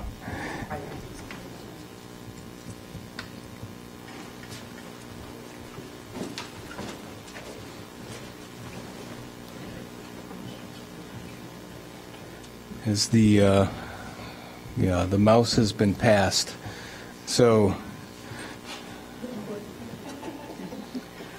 uh, Ms. Jones. So the next item on the agenda is a text amendment, case number 18 PLND 0102, uh, for a uh, ORD uh, redevelopment overlay district. Ms. Jones, would you like to present the issue? Sure. Uh, Good evening, everyone. The uh, text amendment that is, or the first text amendment that is in front of the commission today is for our ORD or redevelopment overlay district. Um, This district was essentially created to allow for some flexibility in land use layout and design in redevelopment areas where there is an opportunity for mixed-use development or development projects in which uh, one or more of the uses are different from but compatible with the principal permitted uses in the district. Um, and a planned development is required for all new developments within the ORD districts. Uh, currently, our overlay district, or this particular overlay district, is applied uh, in the southwest portion of the city, north and south of Oakton Street between Hartrey Avenue and the city limit. So essentially, um, where the Sports Dome and Home Depot is. Um, so the permitted uses within the ORD overlay um, are outlined in section 615.13.7 permitted uses, and they are uh, any use listed as permitted or special use in the underlying base zoning district, and that is highlighted because that is an important point that we'll get to in a second. Uh, dwelling or multifamily dwellings uh, were not more than 30% of a particular planned development site, um, excluding affordable housing as determined by the Plan Commission, but in no case shall that actual total housing area, include, including affordable housing, uh, be more than 60% of the site. Uh, Mixed-use development and retail goods or service establishments when located on the ground floor. Uh, Staff is actually proposing uh, two uh, different uh, amendments to these particular sections. Um, The first one is a pretty quick one to Section 615.13.2, or Procedures for District Designation. Uh, We would be proposing um, in subsection A to add the C1 Commercial District to the list of zoning districts where the redevelopment overlay uh, is permitted to be uh, designated. Uh, Currently, there actually is already an area in that southwest portion of the city that is zoned C1, it just for whatever reason is not in this particular list. Uh, The second portion of the amendment is to actually amend sections uh, 615.13.7, permitted uses, and actually create a new section, 615.13.8, special uses, uh, specifically uh, for 615.13.7, which is permitted uses. We would uh, cross out the small portion of uh, subsection A where we have or special use for the underlying base zoning district and create a new subsection where uh, we list special uses for the ORD district uh, shall be any use listed as a special use in the underlying base zoning district. So basically, what this particular amendment would do would make it so permitted uses that are within the underlying zoning district are also permitted uses in the ORD. And then special uses that are listed within the underlying zoning district are also special uses within the ORD. The way it's currently worded, uh, it's worded in such a way where one could interpret it to be that both permitted and special uses would be outright permitted within the ORD overlay district. So, um, with that being said, we have our standards for amendments. And that is whether the proposed amendment is consistent with the goals, objectives, and policies of the Comprehensive General Plan as adopted and amended from time to time by the City Council. Whether the proposed amendment is compatible with the overall character of existing development in the immediate vicinity of the subject property.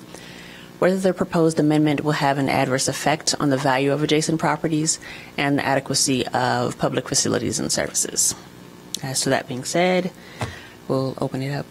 Okay, so, so, uh, so I'm just going to note that uh, we're not going to be taking questions from the public because there is no public. The last person has left the room. So we're go, we'll do it. we'll go just from commissioners. Who's, who, who would like to ask any, any questions, get any clarifications on the issue? Everyone is absolutely clear on what this is. Seems pretty straightforward. Pretty straightforward. All right, so, uh, so of course, we have, uh, we have our th- three standard choices. We can either uh, make a motion to approve as presented, or approve with, with modifications, or to recommend, to, to recommend denial. All right, so is there a motion? I move to approve the zoning text amendment as presented by staff. Motion Goddard. Is there a second? Second Halleck. All right. I think we need a v- we need a roll call vote on this, right? Sure. Sure. All right. Commissioner Draper? Commissioner Dubin? Yes. Commissioner Goddard? Aye. Commissioner Halleck? Commissioner Isaac? Aye. Commissioner Pigozzi? And Chair Lewis. Yes.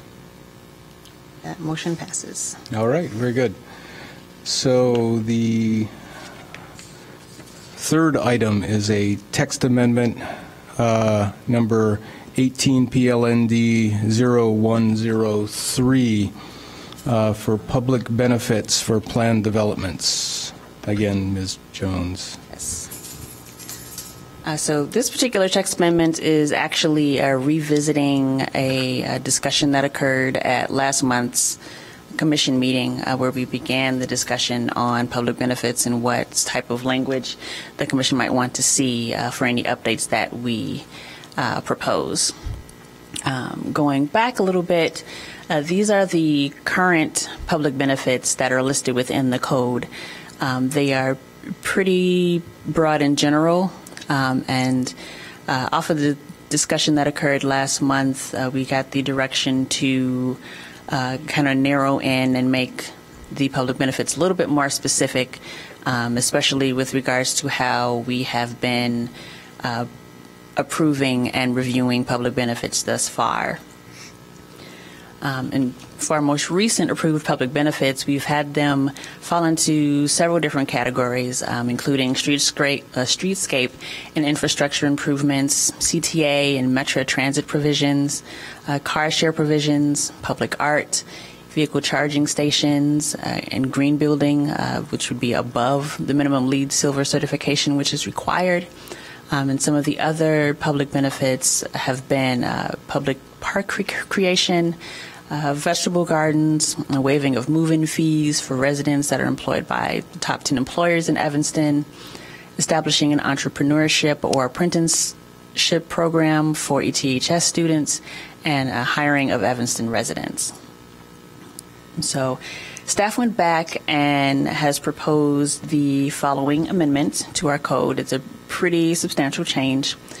Um, we are proposing to amend section 6363 public benefits so that there are three subsections which would describe goals, list possible public benefits, and then uh, provide standards for reviewing those public benefits. Uh, specifically, for the introductory paragraph um, that would now read the public benefits to the surrounding neighborhood and the city as a whole are intended to be derived from the approval of planned developments and are measured based on the quantity and scale of requested site development allowances. Public benefits are not considered to be the proposed principal uses on the zoning lot, but rather an accessory feature or use complementary to the proposed principal uses. These benefits should not be limited solely to the proposed development's residents or tenants, but should also be accessible to the public and or mitigate impact of the development on surrounding residents, infrastructure, and utilities. So the first section is probably going to look very familiar. Uh, we took what are currently our public benefit standards and made them into goals. Uh, because they are so broad, they uh, address a, a, broader range of things that we are seeking to have. Um, the only changes that are proposed is to uh, remove uh, item four, which is use of design, landscape, or architectural features to create a pleasing environment or other special development features. Uh, this is essentially a part of the process that happens during the course of review, uh, especially through um, our DAPR committee, our design and project review committee reviews. So this is something that we kind of feel is a standard anyway. And also, uh, number seven, business, commercial, and manufacturing development to enhance the local economy and strengthen the tax base. Uh, we decided to remove that because that's something that's essentially a given with the new development. Um, if you're going from a vacant lot to a structure that's going to change the tax base, and um, we're looking for something that's a type of more substantial of a public benefit. Um, and lastly, we adjusted item nine slightly, uh, just taking out uh, this one addressed the uh, sustainability aspect of development. Uh, we're just going to remove the section that says such as level silver or higher LEED or leadership in energy and environmental design certifications. We're essentially removing that because we're going to address it more specifically um, in the next section. So the completely new section that we are proposing um, actually lists out public benefit categories and lists some examples of how um, those particular aspects could be addressed. Uh, won't go into complete details for all of these, um, but the categories are affordable housing, encouragement of alternative modes of transportation, streetscape improvements, infrastructure improvements, public art, sustainability measures, education and employment, preservation, and open space uh, and park dedication. Uh, the second new section uh, would be standards for evaluation of these public benefits. So um, this is actually a section that is similar to um, a section within the redevelopment overlay district. Uh, we essentially took that language and changed it um, so that it addressed uh, development and public benefits. and I'll, I'll, actually go through these. Uh, the first standard is the size or capacity of the development or public benefit or provision, the degree to which the location of the development or public benefit within the structure or on the site of which it is a part enhances the environment of the zoning district of which it is a part, excuse me, uh, of the streetscape frontage where it is to be located and the zoning lot itself, the degree of public accessibility to the development or public benefit given its location and the specific nature and function of the public benefit feature, the quality of design of the development or public benefit in the context of the principal use of the zoning lot, the location of said zoning lot in the zoning district, adjacent properties and uses, the use and street frontage character of the zoning lot, said zoning lot within, and the policies, designs, and plans of the city, the degree to which the development of public benefit enhances and protects the environment of the zoning district, including such elements as air quality, noise reduction, wind effect, temperature moderation, uh, views, pedestrian environment, landscaping and areas for relaxation, and the environment of the city's historic resources. The degree to which the development or public benefit lessens automobile traffic congestion and supports car sharing, public transit, pedestrian and bicycle usage, the degree to which the development or public benefit increases the availability of quality environment employment, excuse me, opportunities to the residents of the city, the degree to which the development or public benefit enhances the economy of the city, the degree to which the development or public benefit provides for or incorporates social services for the residents of the city, and uh, finally, the degree to which the development or public benefit provides for and protects the public health, welfare, and safety of residents and employees and the visitors to the city. And there's a small paragraph at the end which states the city council may find that the degree to which any of the above standards are met are not sufficient to mitigate or offset the requested site development allowance and or impacts of the proposed development on the surrounding community and may request that additional public benefits be provided. So that's essentially what's proposed at this point. And again, we have the four standards for improvements of amendments. So with that, um, I will open it up to any questions or comments. Okay, thank you for the very clear and concise uh, explanation. So, uh, Commissioner Halleck. Yeah, I'm sorry I wasn't here at the last meeting when this was discussed, but um, I, I, first of all, in this last list, I would eliminate four and five. Four and five seems to be um, what you should expect from a, a, development like this, and I think they're because it addresses design. And the the, the uh, in the previous list, when you took out a couple of those items, it seems like they address the same thing. Like this is this is to be expected.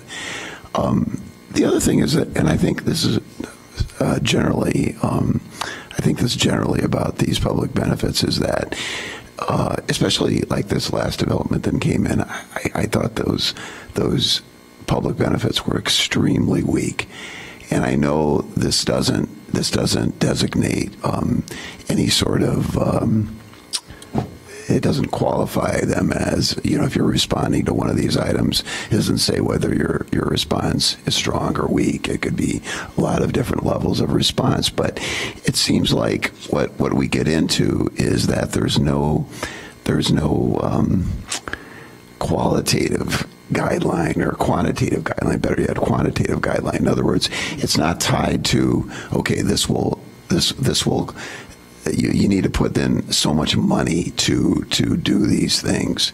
There's no there's it's just so vague and so loose and I, I just I, I I think the best thing Chicago did was to eliminate a, a lot of those um, benefits that they had listed in their zoning code and now it's basically you know you want more FAR you have to pay for it very simple and there's a there's a there's a calculation and it's and the developers know what they've got to do to achieve a certain thing and i think that helps developers and it certainly makes it easier on us so that so the general comment is is can we make it more quantitative Yeah, so so I think that was part of the initial discussion was. sorry and i'm sorry i missed last yeah, time so. Was uh, there were there were presented, you know, different ways of looking at this totally. You know, one is the prescriptive old Chicago code. You did a setback, you got so much bonus for a setback. You got so much bonus for a plaza. You got so much, what whatever it was. That's very, you know, very prescriptive thing. That's a total change from where we are. So so the so I guess the question, the basic question is is are we going to recommend a total overhaul of the public benefits section or are we going to move it incrementally from what is there to another to to a little more speci- specificity? I guess the question is: Is this is this way working? Is it is it working, or I, I just I, I'm just I was so um, annoyed, I guess, by the list of public benefits that that these guys uh, came up with because I thought they were nothing, absolutely nothing. Even though they addressed they addressed a lot of these issues, but they really weren't anything. Yeah. And, just just gonna uh, just costing commissioners not to. It'd probably best to speak in generalities, not on, on specific projects um, that aren't noticed under this item. But um, but certainly understand that point, and that was that was part of uh, some of the discussion we had before. So there is some language in this um, that that at least gives an idea of sort of the degree of the the site development allowances versus the degree of the benefits. But um, and that's in, in some of that language in C there, the the second sentence, for example. Um, Plan Commission, City Council shall consider the degree to which the following standards are met by the proposed public benefits within the overall context of principal uses um, that are offered. But I, I, I the, the point is taken. I think uh, uh, Chair Lewis um, uh, summed it up well as kind of.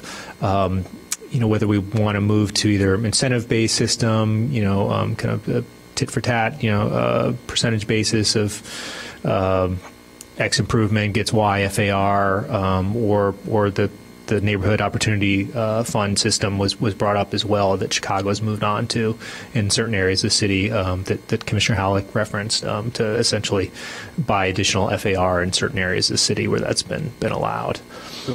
So one of the one of the benefits of the looseness is is that it allows innovation, where the prescriptive is is set. It, it- the gui- the guidelines are are there, and you don't get any kind of innovations from it. You know, you just play within the rules. So in a way, I would say yes, it works in that that it has come up with all these various ways of of benefiting the community fr- and and and modifies itself as it goes along. So when parking boxes come up instead of parking meters, that can become a public benefit. You know, how do you pay for that, right? So so the the way things ch- change, this this allows change to happen you know, and and stay current and relevant. Where I think you, in, in some other ways, might m- create a dinosaur right away. You know that it's it's so fixed. You know, I've, I've been on the other side of this sta- of this desk, and I know what happens, and I know how developers think. It's like they they they want to satisfy the goal in the least financially impactful way. And I've done that in the prescriptive way. I, I sat there and did calculations where I manipulated the how the setbacks were and the whatever in order to maximize the FAR and the uh, you know the the height and all sorts of things. So yes, I mean that that is the goal is to mac their their goal is to make money and maximize, and ours is to is to create public benefit for the for the community of Evanston. So Okay, well maybe, well, maybe I guess we just disagree on this, but I think that from the from the developers want to know they they want they want to know they they don't want they don't like variables and uncertainty. They want to know. So I think a more prescriptive uh, method would help them, and I think it would just it would eliminate a lot of the arguments. But does it, but does it, is it in the best interest of Evanston? I mean, I mean. Well, I think do- the, do uh, we get our neighborhood, the, the, neighbor, the neighborhood for, or do opportunity bonus, opportunity bonus in Chicago has been hugely successful, hugely. And what it does is it, it puts a financial amount on benefits, and and then and then the city gets to decide how that money is spent, Mm-hmm. not the developer. So I don't know that it limits creativity. Yeah, yeah. Well, that is true, but the motivation of that was because of the, the higher, the impact only being realized on the downtown area and pressure in order to get money spread out into the community, which is. But and, and I'm not necessarily suggesting that, but something more more prescriptive, I, I guess. So, uh, so that's taking this to a very big issue, uh, whether we should stay, stay uh, within the means. Uh, Basically, what's being proposed is a refinement of the current system in order to clarify it, give a little bit more definition. Uh, And, uh, you know, what's, what's now being discussed is going to, going to evaluating the entire, the entire system, uh, whether there's a better way to deliver that. And so, wondering how to move forward in that. Do you have a comment, Commissioner Um, Isaac? Yeah, I think um, I think you know based on the discussion we had last uh, last meeting, um, I was uh, I was very happy with what has been uh, has been drafted. I think it uh, it focuses what um, the community is looking for as far as pub- public benefits, um, which I agree are kind of vague, but um, it's it's more focused and it's not too specific where um, we're uh, we're boxing ourselves in and we'll have to revisit the issue um, next year. Um, and so, um, you know, I think uh, I think what's been drafted is good, and uh, you know, I'm prepared to support it. S- Any other comments, or can I call Commissioner Draper? Yeah. Um, I've got a question about the LEED category. So, is it currently the status in Evanston that we're pursuing LEED buildings? Because there's now starting to be a bit of a pushback between is LEED the best method, and do we want to clar- like have any other options available for the future proofing of this? So, so that's even more generalizing, all right? But, Yeah. but based, but Yeah. still, still you're modifying this existing format, right? Not the big, big Right. issue. So, Just that point on Okay. LEED. Sure. And, and to maybe add, add a little uh, additional information there. Um, uh, LEED silver is what's required now in our green building ordinance for buildings of a certain size, and, and generally all the planned developments are there. So that's where it is currently. Um, I think in the city, some some staff, I don't think we've really you know, brought it to a policy level, have thought about using other systems or equivalent systems, green globes or, or other passive house, other things that are out there. Um, so we certainly, uh, you know, have collected some information about those, and at some point would probably be looking to update that green building ordinance. So that'd be, probably be the place where we really get to it specifically there. But I think we did just want to um, clarify in the plan developments that that's not really a public benefit since it's already a requirement of the green building ordinance to do LEED silver. so I think the point is, can the, can the wording be modified to refer to the basic green build, the, you know, the, the Evanston Green Building Ordinance as opposed to whatever that entails, Mhm. as opposed to naming LEED, silver, or above? So, so the measures, yeah, would change, yeah. It's a good point. We could maybe take a look at that. Um, and we can take a look at the slide previous to this and, and just see if that language could be broadened a little bit um, um, to, yeah, to, to maybe uh, something in, in excess of what's required by the, the City of Evanston's Green Building Ordinance. And as those standards get higher, then obviously becoming in excess would, would be a higher standard as well. Yeah, I, I think uh, there is a little bit of mentioning the LEED 55 because there's a lot of local local interest in the bird bird safety. So stating, I don't know if it is appropriate to state it here, but it is it is you know in the regulation.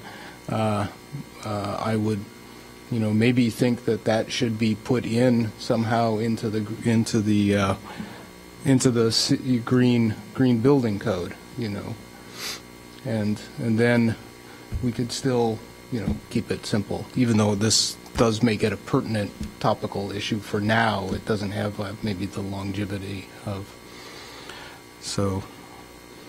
Uh, so I'm I'm I'm understanding that there may be, yeah, some acceptance of the system. How about Andy? Why don't you? Well, I- Commissioner Pigozzi, Thank you. me. I Um, want to be I- disrespectful. I do agree with George. I mean, I think it it it would help um, streamline the process a little more. And, and one one thing I've heard from um, people who go through our Evanston process uh, do tell me that it, it is very cumbersome, and it is you know it's it's a lot of process and. Um, any, I think anything we could do to make it, to simplify it, to quantify it very, you know, very clearly. Um, I, we already do that to some degree with the housing ordinance. I mean, you, if you can't satisfy or if the economic model doesn't work to hit the right mix, then they, they put money into the fund to offset that. I mean, isn't, Is that optional?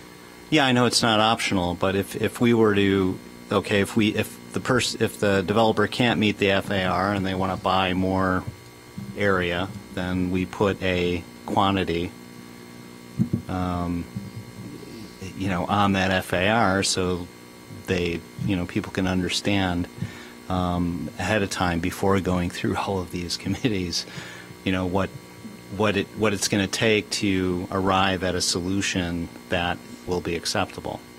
without without kind of get well if I add some you know if I had a some div, a divvy station here and, and maybe you know change a couple street lights maybe they'll make it go away maybe they'll accept my my setback encroachment you know so it it it, it I, I think the goal should be, and I'm not suggesting that we just, you know, I think what's been done is good because it it it puts into words what those improvements are, which which is helpful.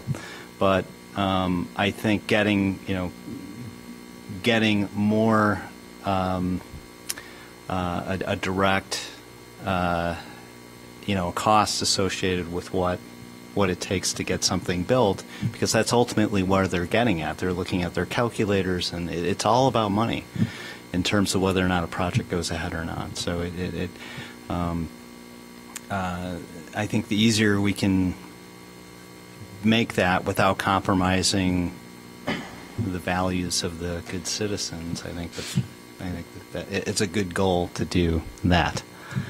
Um, so I, I think all of these things could are items that could be used with the money that is charged to buy those those uh, rights.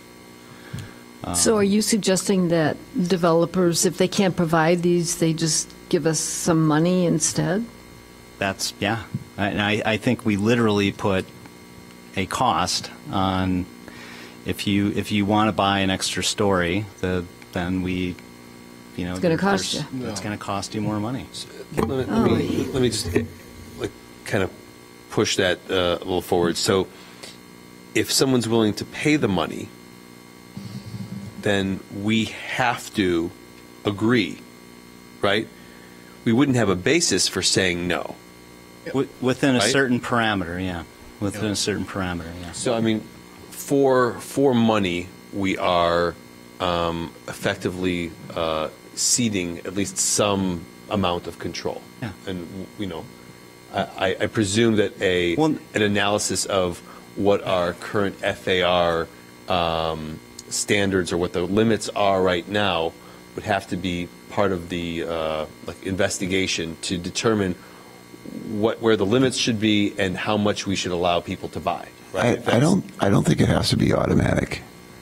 I think if they're going, if they're if they're asking for FAR, for example, above zoning, I think it's still a decision to be made.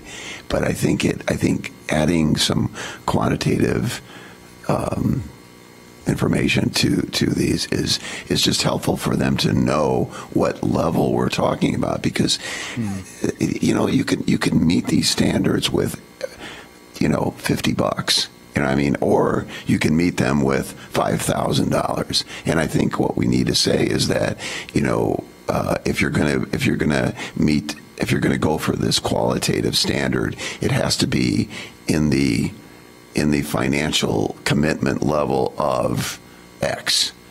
And but but it still makes the whole project. It, it doesn't say that we have to approve it just because you do that.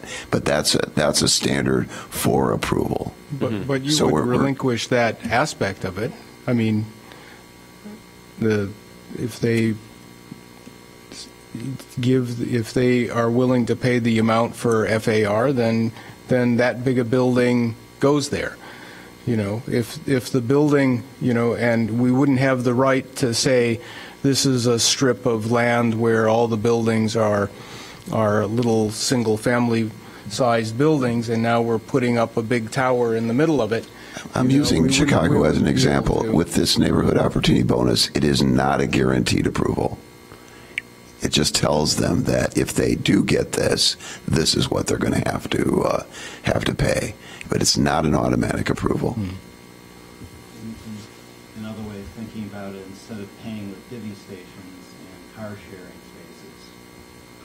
Instead of paying with divvy stations and car sharing stations, you're putting up cash.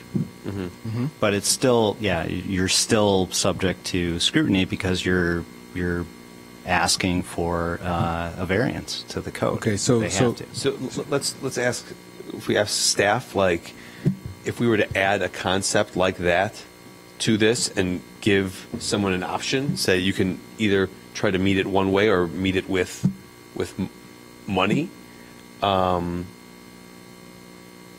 I presume staff would have to look at that and determine what the money was and and talk to talk to other staff about um, where that money goes and how it would be spent.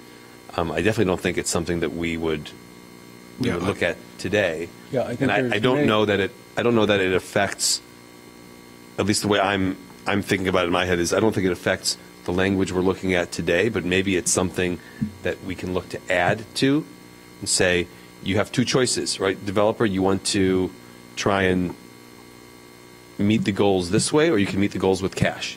And I presume that um, that some of the commissioners believe that um, a large number of the developers would uh, choose to satisfy that with cash because that's just it's more certain to them, right? Yeah, so, so I, I, I think that changing the system, it, it has a lot of complexity to it and would have to be, you know, would, would be a long process to do it. I mean, totally doing it. Not only is there the complexity of weighting what's the value of each thing, you know, are we charging the right amount for the right object? But then, once we get the money, the whole mechanism within the city has to be set up to spend and distribute that money. And that becomes a political issue. And, you know, I, I don't, That's not our problem. I, don't- I don't know, you know, it gets beyond really where we're, where we're at, I would imagine. So, uh, You know, call me old-fashioned, but I, I don't, I just do not like this idea of pay to play. You know, I just, I, I would rather see uh, an additional park or something, or five more trees than them paying me, paying the city a thousand dollars. And you know, that's where I fall in this. It, it, it sounds like pay to play, but this system that we have is still pay to play. And, and I'm telling you that these developers are looking for the cheapest way But out. this is voluntary. What you're ta- what you're proposing is mandatory. No, no, Yeah. I'm not. I'm you saying give me, you give us a hundred thousand, you get two extra stories. No, no, no. I'm not. I'm. I actually am not saying that exactly. I'm just saying that I, I'd like some quantitative, um, some, something quantitative to be added to these because because when you look at any of these goals, someone could look at it and say, "Hey, I'm I'm uh, I'm complying with this, and it's only going to cost me a hundred bucks, but I'm complying with it." Well, that's assuming that, that the three bodies who, who review this, the staff, who has a lot of discretion under this system to negotiate, is, is not doing their job. Us, who are not, are not doing our job in order to enforce the, the benefits, the proportionality of the benefits, and the city council, all don't, all don't, I, I mean, the example of paying a hundred, you know, getting, getting past light is not probably correct. I mean, it may be heavy, you know, we may be heavy-handed in it, but I doubt we're ever going to be light in, in the, in the restrictions, so, uh, Um, okay. I, I just think that that's how developers think. They think in cash. I and I and I don't think when we look at these things we th- we're thinking in cash. When when if we were to get to the uh, public benefits of the last applicant, I think some of them sound great, but there's no cash assigned to it. So well, I mean, that's You know. part of, that's part of the discussion and the deliberation should be, should be, you know, whether, whether there's value to the community given for the, for what, what we're giving them, you know, in their development. So that's part of the discussion. In any, in any, I'm going to be general, in any discussion. So. Okay. I, I guess, Uh, I, I, and it's fine what you're saying. I, I just was looking for some guidelines, better guidelines for us as well as them. Yeah, yeah, yeah. So, I, I, I, I- I think it. I'm not trying to change the system. I'm just trying to add some. But what if it's more than just, you know, another floor is $100,000, but we're talking a bit more specific, like one half of 1% of your budget is public art, like getting into those sort of Yes. Yes, that's a perfect example. Like, you know, right now, public art is a good example where you could just commission a, you know, you could commission local artist and spend $500 because you're saying you're commissioning a local artist. You have to spend so much on public art. That, That's a perfect example. So, I mean, like some of these ones could be more specific. I definitely see that a lot of these could be very vague. Like the other one is about, um, let's see, the public transport and, you know, stations. So it's, do we want to give a specific? Like, Well, well, so, so Yeah. what happens, what happens when there's a, there's a pub, piece of public art on every 50 feet on the street, and we've got enough public art, you know? I mean, what, what, what do we do? I mean, things, can you know, the needs are going to change, idea. and the benefit of, of a system with flexibility is that it allows you to change your priorities as a community. Once you prescribe it and codify it, then, then it's there for, until we have the next revision to the codification, you know, which is a, a large process at every, every step. So, It doesn't, it doesn't eliminate the subjectivity of the overall evaluation. What else is group? Still, if you get public arts on every 50 feet, you don't want, you don't need to accept that. But saying that you have to, uh, you have to, you have to spend, whatever you said, one and a half percent of the, of the construction budget on public art quantifies that idea, that general idea of that, that public art is something we we consider a, a, a, it's, it's all I'm saying. Quantifying But Commissioner I understand Yeah. that the difficulty, it's so subjective, but when a developer first comes in, don't they sit down with staff and kind of get an idea of, of what might give them ex, a bonus, an extra story, I- I'm, so that it doesn't come to the point where we have to say one crossroad is, one crosswalk isn't good enough? Don't, I mean, I, I understand from what you're saying and my husband, the architect, goes through this all the time with the smaller communities. But again, it, it, don't they usually or often just sit down and, at the very beginning and get some general idea of what quantity they need to provide? I staff would- can answer that. Yeah, generally speaking, there are a number of discussions that occur before a project gets even to design a project review committee. Um, and it can be subjective. It's kind of on, it's definitely on a case by case basis based on the type of proposed development, where that particular development is, what may be happening around that particular development, and that can kind of dictate uh, what public benefits we seek. So, in some place that's more heavily built up, we might not be requesting as much with regards to like divvy stations or something like that. Um, we may want to do something that's more beautification and something more along those lines. Um, so th- there's definitely a good amount of discussion. Um, and, and to a couple of the points that I'm hearing, there is a negotiation that occurs with regards to pricing, even. I'm thinking with regards to some of the plan developments where we have re- uh, required or put a condition on approval where they donate or they provide like $75,000 towards uh, traffic signal improvements or something like that. So there are cases where we do put an actual number for a particular public benefit. It just depends on what public benefit we're looking at. We don't necessarily do that for um, a specific piece of public art, although we have quantified that before and requested a five thousand or ten thousand dollar um, payment be done for that. So I mean, there are cases where we do negotiate some kind of price for the public benefits. It's not something that is extremely prescriptive where okay, you have a four story building that is next to a school or something like that. We need to have this particular amount of money for XYZ public benefits. There is a lot of negotiation that takes place. So um, I think if we were to do something that is that prescriptive, I don't know.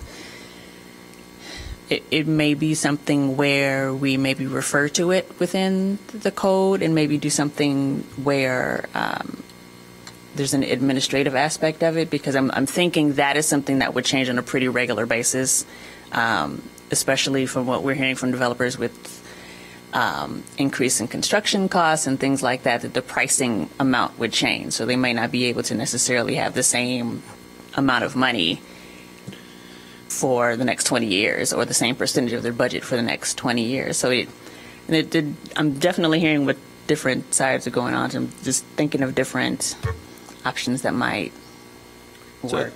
I, I mean, I, I understand your um, your point. Like, we can get to the same we can get to the same place we are otherwise getting, and there won't have to be many discussions.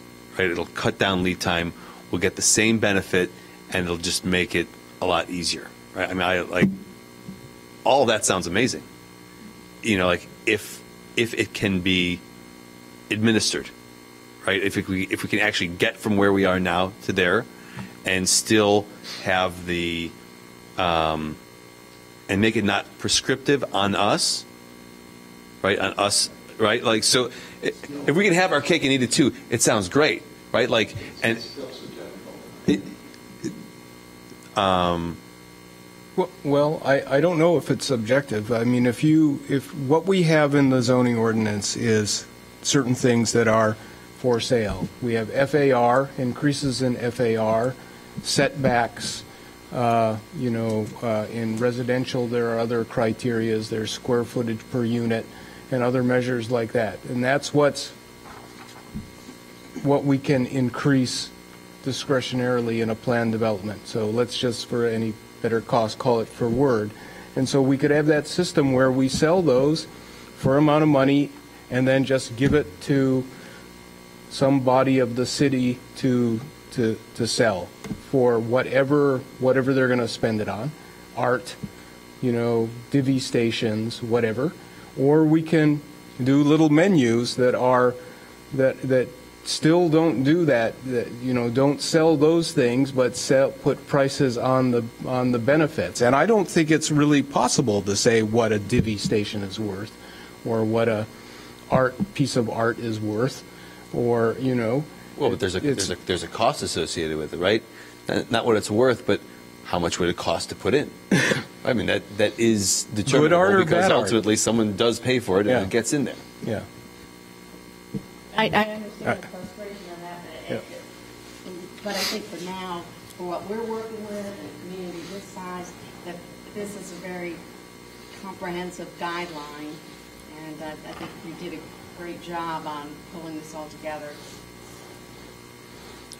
So uh, is there, so I, I'm going to probably ask for a motion from some, someone if there's no more discussion on the, on the proposal at hand. And Can I go back to my, the first Okay. thing that- that came out of my mouth when I, Yes. um, which was that, on that last list, there's, I said number four and five. Um, Okay, so, so that would be part of a, a motion, could include modifications to this proposal of eliminating four and five and changing the, the things that have been proposed are eliminating four and five on the standards for evaluation and on, the- under public benefit categories B, rewording the sustainability measures to refer to the city uh, green ordinance. So those are possible modifications to this proposal. Is, is that what you're talking about? Or, I- I guess I'd like, i- i- if there, anybody else had any comments, agreed or disagreed on, I thought four and five are, are items that, that should be in any development. They're Yeah. not, they're not benefits, they're just requirements. so is there any, any comment on the? Well, I, d- the- I don't know if I disagree with that, but I, I mean, I think someone who, the wind, where's the wind tunnel one? I mean, if someone puts something in that's mitigating the potential for a, you know, uh, what do they call those wind tunnels? I, I think that's something that could be considered an environment. Yeah. I mean, a public benefit. Yeah, so I guess, I guess my comment would be, would be, yes, we consider it as design professionals to be basic design things, but I don't know where else it's codified within the, within the ordinance, that, that those are values that are that are held. Uh, Is there other places that four and five would be codified? So in, in the, in the LEED criteria, there is another place where it's codified, is the green, you know, building ordinance. And we can refer to that. I don't know where four and five would be referred to. So if it's referred to somewhere else, I would happily, you know, shorten the thing. It's, it's not that I'm against it, it's just that I don't think it's a public benefit. I think it's a requirement. Yeah. And you can't, you can't Yeah. come in here and say, hey, I'm designing a nice building and therefore I'm, give me, give me, uh, you know, extras, extra FAR. It Right, just right. Seems So that's- ridiculous. That's a good point. So So- how do we make it a requirement? Um, What about the standards for approval of a planned development? Are, are, are, are four and five um, otherwise included there, and obviously much different language, but something to that effect? Because if, I, I, agree, this is, this is something we, we look at, well, we're not the design Right. and review Right. committee, right? But, um, but that's definitely uh, a way we look at things, and it would seem to me that it would it would need to be in the in some way in the uh, in the standards for approval of a planned development. If it's just across the board, that's where that's where it should would be yes. found. Yes, I agree. I agree. And I, admittedly, have not committed that to memory. Yeah, so, so in, in 611-1-10 plan developments, it does mention that each development shall be compatible with and implement the adopted comprehensive general plan as amended from time to time, blah, blah, blah. Uh, uh, Use, uh, use or urban design specific to the area. Uh, This zoning ordinance and other pertinent city planning and development policy, particularly in terms of land use, land intensity, housing, preservation, environmental, whatever that means, and urban design, traffic and parking, impact on schools and, and public service facilities, the essential character of the downtown, neighborhood planning, et cetera. So I, I don't know if environmental, you know, encompasses that, or, I think wind, wind would be included in environmental. wind, yes, wind, yes. Um, isn't there one that's uh, like just just a sort of a catch-all that has doesn't have an adverse effect on the um, on the surrounding properties? Right? Isn't there, isn't there a catch-all there? Oh, yeah, there, I mean, yes, it- yes, It, yes, it would seem, it would seem to me that, yeah. that that five in the standards for evaluation of public benefits or the proposed standards for evaluation of uh, public benefits would ultimately fall into that category, right? And it's very vague, and we can decide what it means depending on what the what the project is and where it is and what it's doing to Mm-hmm. the surrounding properties. So, so uh, can I ask staff, either one of you, what is your motivation in including these as opposed to, you know, especially calling these out as, as, as a, so, so, so actually, let, let, let me, let me step back, because maybe we're misinterpreting this. This is not a suggested public benefit, but this is a criteria for evaluating public benefits. So it is, it is actually not uh, something that you can ask for. It's just dawned on me that uh, it's just saying that you can't, you can't be a, you can't create bad environment as part of the public benefits. Maybe the confusion is the use of the word uh, development in four, five, and well, it looks like four, starting at number four. Oh, it's in all of them. Because if we're only talking about the public benefit, maybe we should remove the word development instead of saying, you know, the quality of design of the development or public benefit. Just say the quality of uh, the quality or of design of public benefit. That doesn't really make sense. I mean, that, that I mean, that- yeah, it needs to be. Design. Well, but right now it says the quality of design of the development or public benefits. So the way I read it is one way to. And public benefit. You should, know. Yeah, I- the way that it was worded here is so that you can look at the development itself to see how it contributes or does not contribute, but then also look at the public benefit and kind of juxtapose Oh, the two.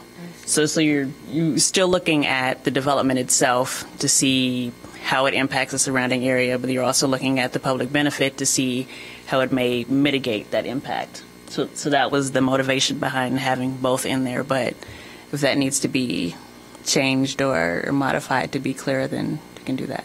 Yeah, I have to say, I, I miss your point that these are guidelines to evaluate. They're not public They're not benefits. public and benefit, and yeah. so that. Well, I didn't realize it either, Yeah. so, yeah.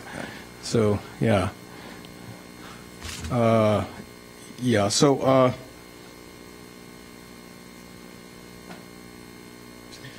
public benefit enhances and protects the How about, I mean, like, just with respect to four, the, um, like the positive effect of a public benefit on the quality of design of the development in the context of the principal use of the zoning lot? I know, but I mean, that's, you know, it's not, I mean, it goes on. Yeah. So, so I have a not just a little digression from this. Uh, These standards for evaluation, are you envisioning, staff, that this would become something that would be read off and evaluated as we do the standards for special uses, et cetera, in, in our, in our deliberations? Would we go through each one and say, does the development, the quality of the design of the del- development benefit the context of the principal use of the zoning lot? You know, and, and state those things and go through that process, or? I think the idea is it would be used in the, the evaluation of the, the project and the public benefit. Um, so it'd likely be referenced in the staff report, uh, like we reference the standards now for, for map amendment, special use, plan development, et cetera. Um, and then kind of depending on the project, um, how specifically uh, it's discussed by the, the commission. Um, but it should be uh, criteria and evaluation for the, the project by the commission. Not just the public benefits, but the project itself. Yes, and, and, Is- and which, we- is, which, is, which I totally agree with. Right, and we already do have some uh, existing standards for the project itself, obviously in, in the, the map amendment, special use plan development standards. This could apply also. Okay, so uh, I, I don't think anyone is feeling that strongly about, about either eliminating or modifying the wording. I think the elimination doesn't help the cause, does it? But I, modifying, I actually, can I make a motion Yes. to approve this as written? I, I know I sound crazy after all these discussions, but well, but and, I'm- and, I'm- and you I'm can going do with that. the, I'm going with. I'll, the I'll second that motion. I'm going with the flow here. So But can, can I just, can I just ask, no one wants to modify the wording of, of item six in their public benefit categories? Okay, well, I haven't acknowledged any of those. This is Okay, regarding the green motion has building been- ordinance. A motion has been, uh, yeah, made and seconded by, who, who made the motion? Me. Uh, Commissioner Hollick and seconded by Goddard. Okay. So is to adopt the motion as written. Is there any discussion? Thank you very much. Yes. It's getting late. All right, so I think that means that uh, we should have a vote as written. Uh, So why don't we do a roll call vote? Okay. Commissioner Draper? Commissioner Dubin? Aye. Commissioner Goddard? Aye. Commissioner Halleck? Commissioner Isaac? Aye. Commissioner Pigozzi? Chair Lewis. Yes. All right. We did not go through again the standards for amendments, but I believe we met all of them uh, in this motion. So I put it right out in front, and got so hot and heavy, but, uh, all right, so let's move on to other business. Uh, Do you want to guide us through, through the schedule, the proposed schedule? Uh, sure. I don't have a slide or anything for this. Um, generally, these are just the standard meeting dates for the year for the Plan Commission. Um, we reserve the second Wednesday of each month. Um, if necessary, we reserve the fourth Wednesday of each month, and just in case there are a lot of different projects coming through, which, for warning, there is in the coming few months. Um, and then we have the, the zoning committee, which is probably one of the committees that meets the most, which uh, we set aside the third Wednesday of the month for those meetings, and those are scheduled as needed. Right. Is there any, any comment by the commissioners on the uh, schedule 2018? Uh, it's, it's, but it says 2018 Oh. meeting, so we should, that's one of my comments, is to change it to 19. Uh, I think uh, Commissioner Isaac had raised an issue sometime about uh, October 9th being Yom Kippur. That's my understanding. Yes, is, and, uh, well, we'll, you'll, you'll all have to take us out for a beer afterward. Thank you. I'll bring cupcakes.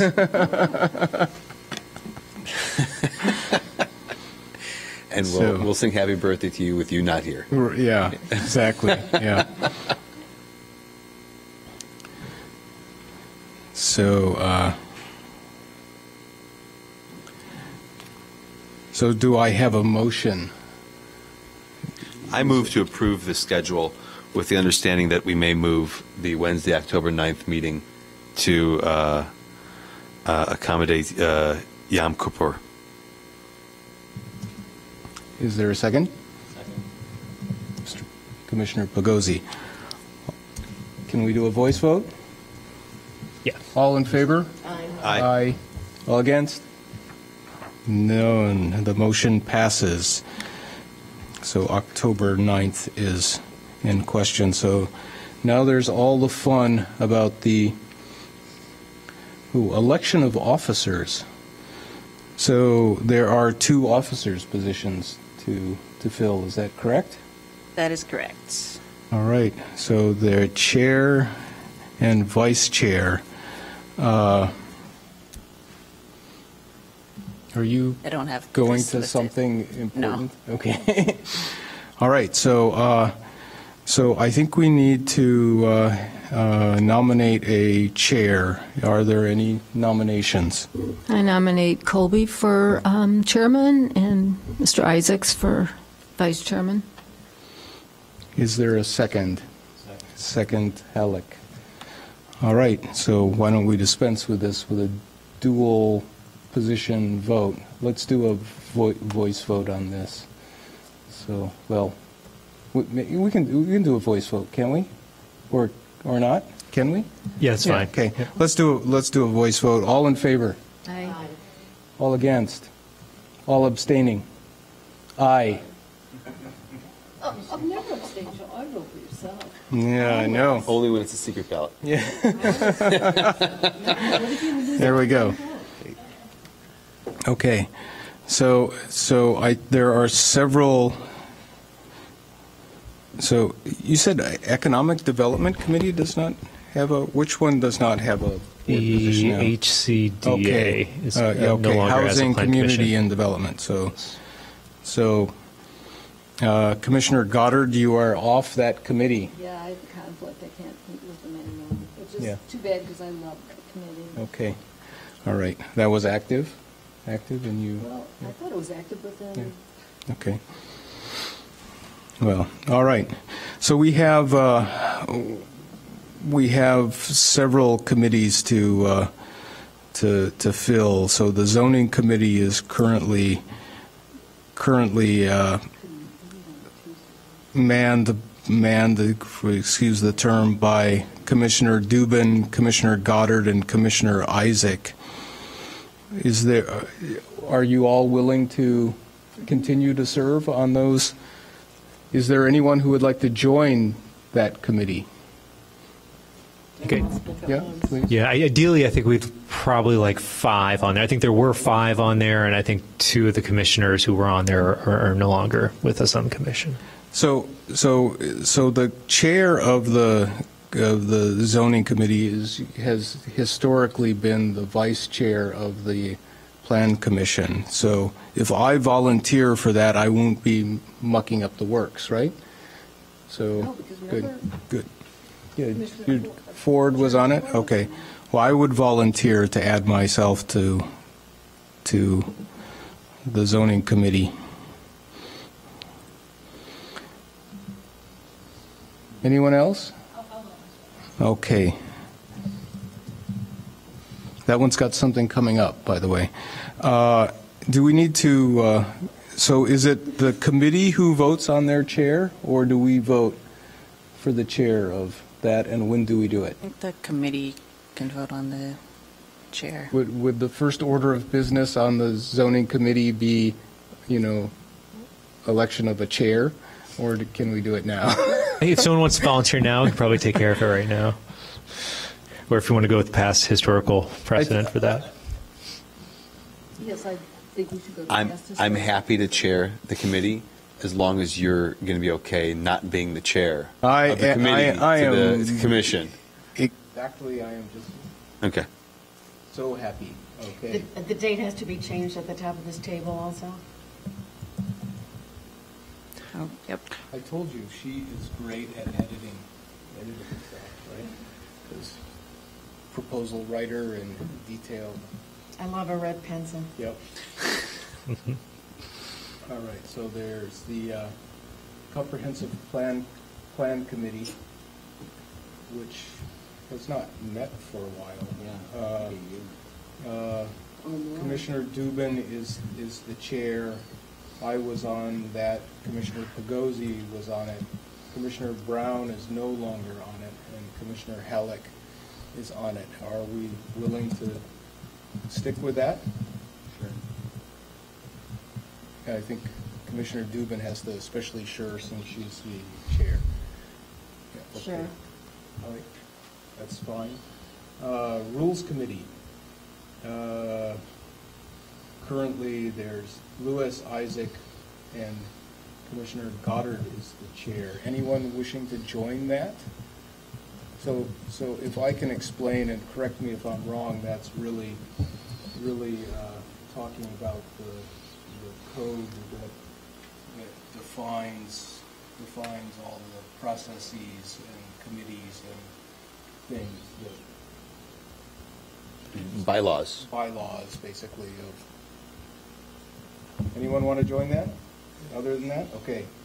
So we'll stand as, as, as is. Uh, So the liaisons, there are, there are now three liaisons uh, with Housing, Community, and Development uh, no longer being relevant. So the Economic Development Committee, Andrew, you were the li- liaison. You good with that?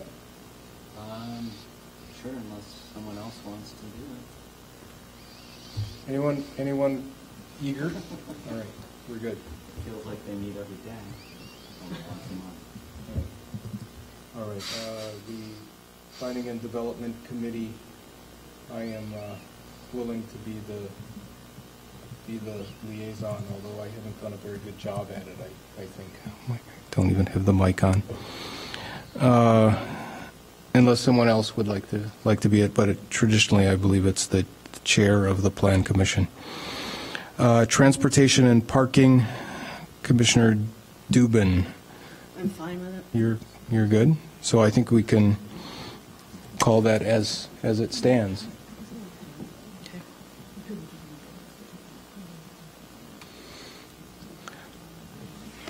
All right, I, uh, There's no motions or anything with this? I, I think you could probably do one motion to approve the, Okay. the slate as described. Okay, so is there a motion to approve the overall slate of, yeah, So moved. Second.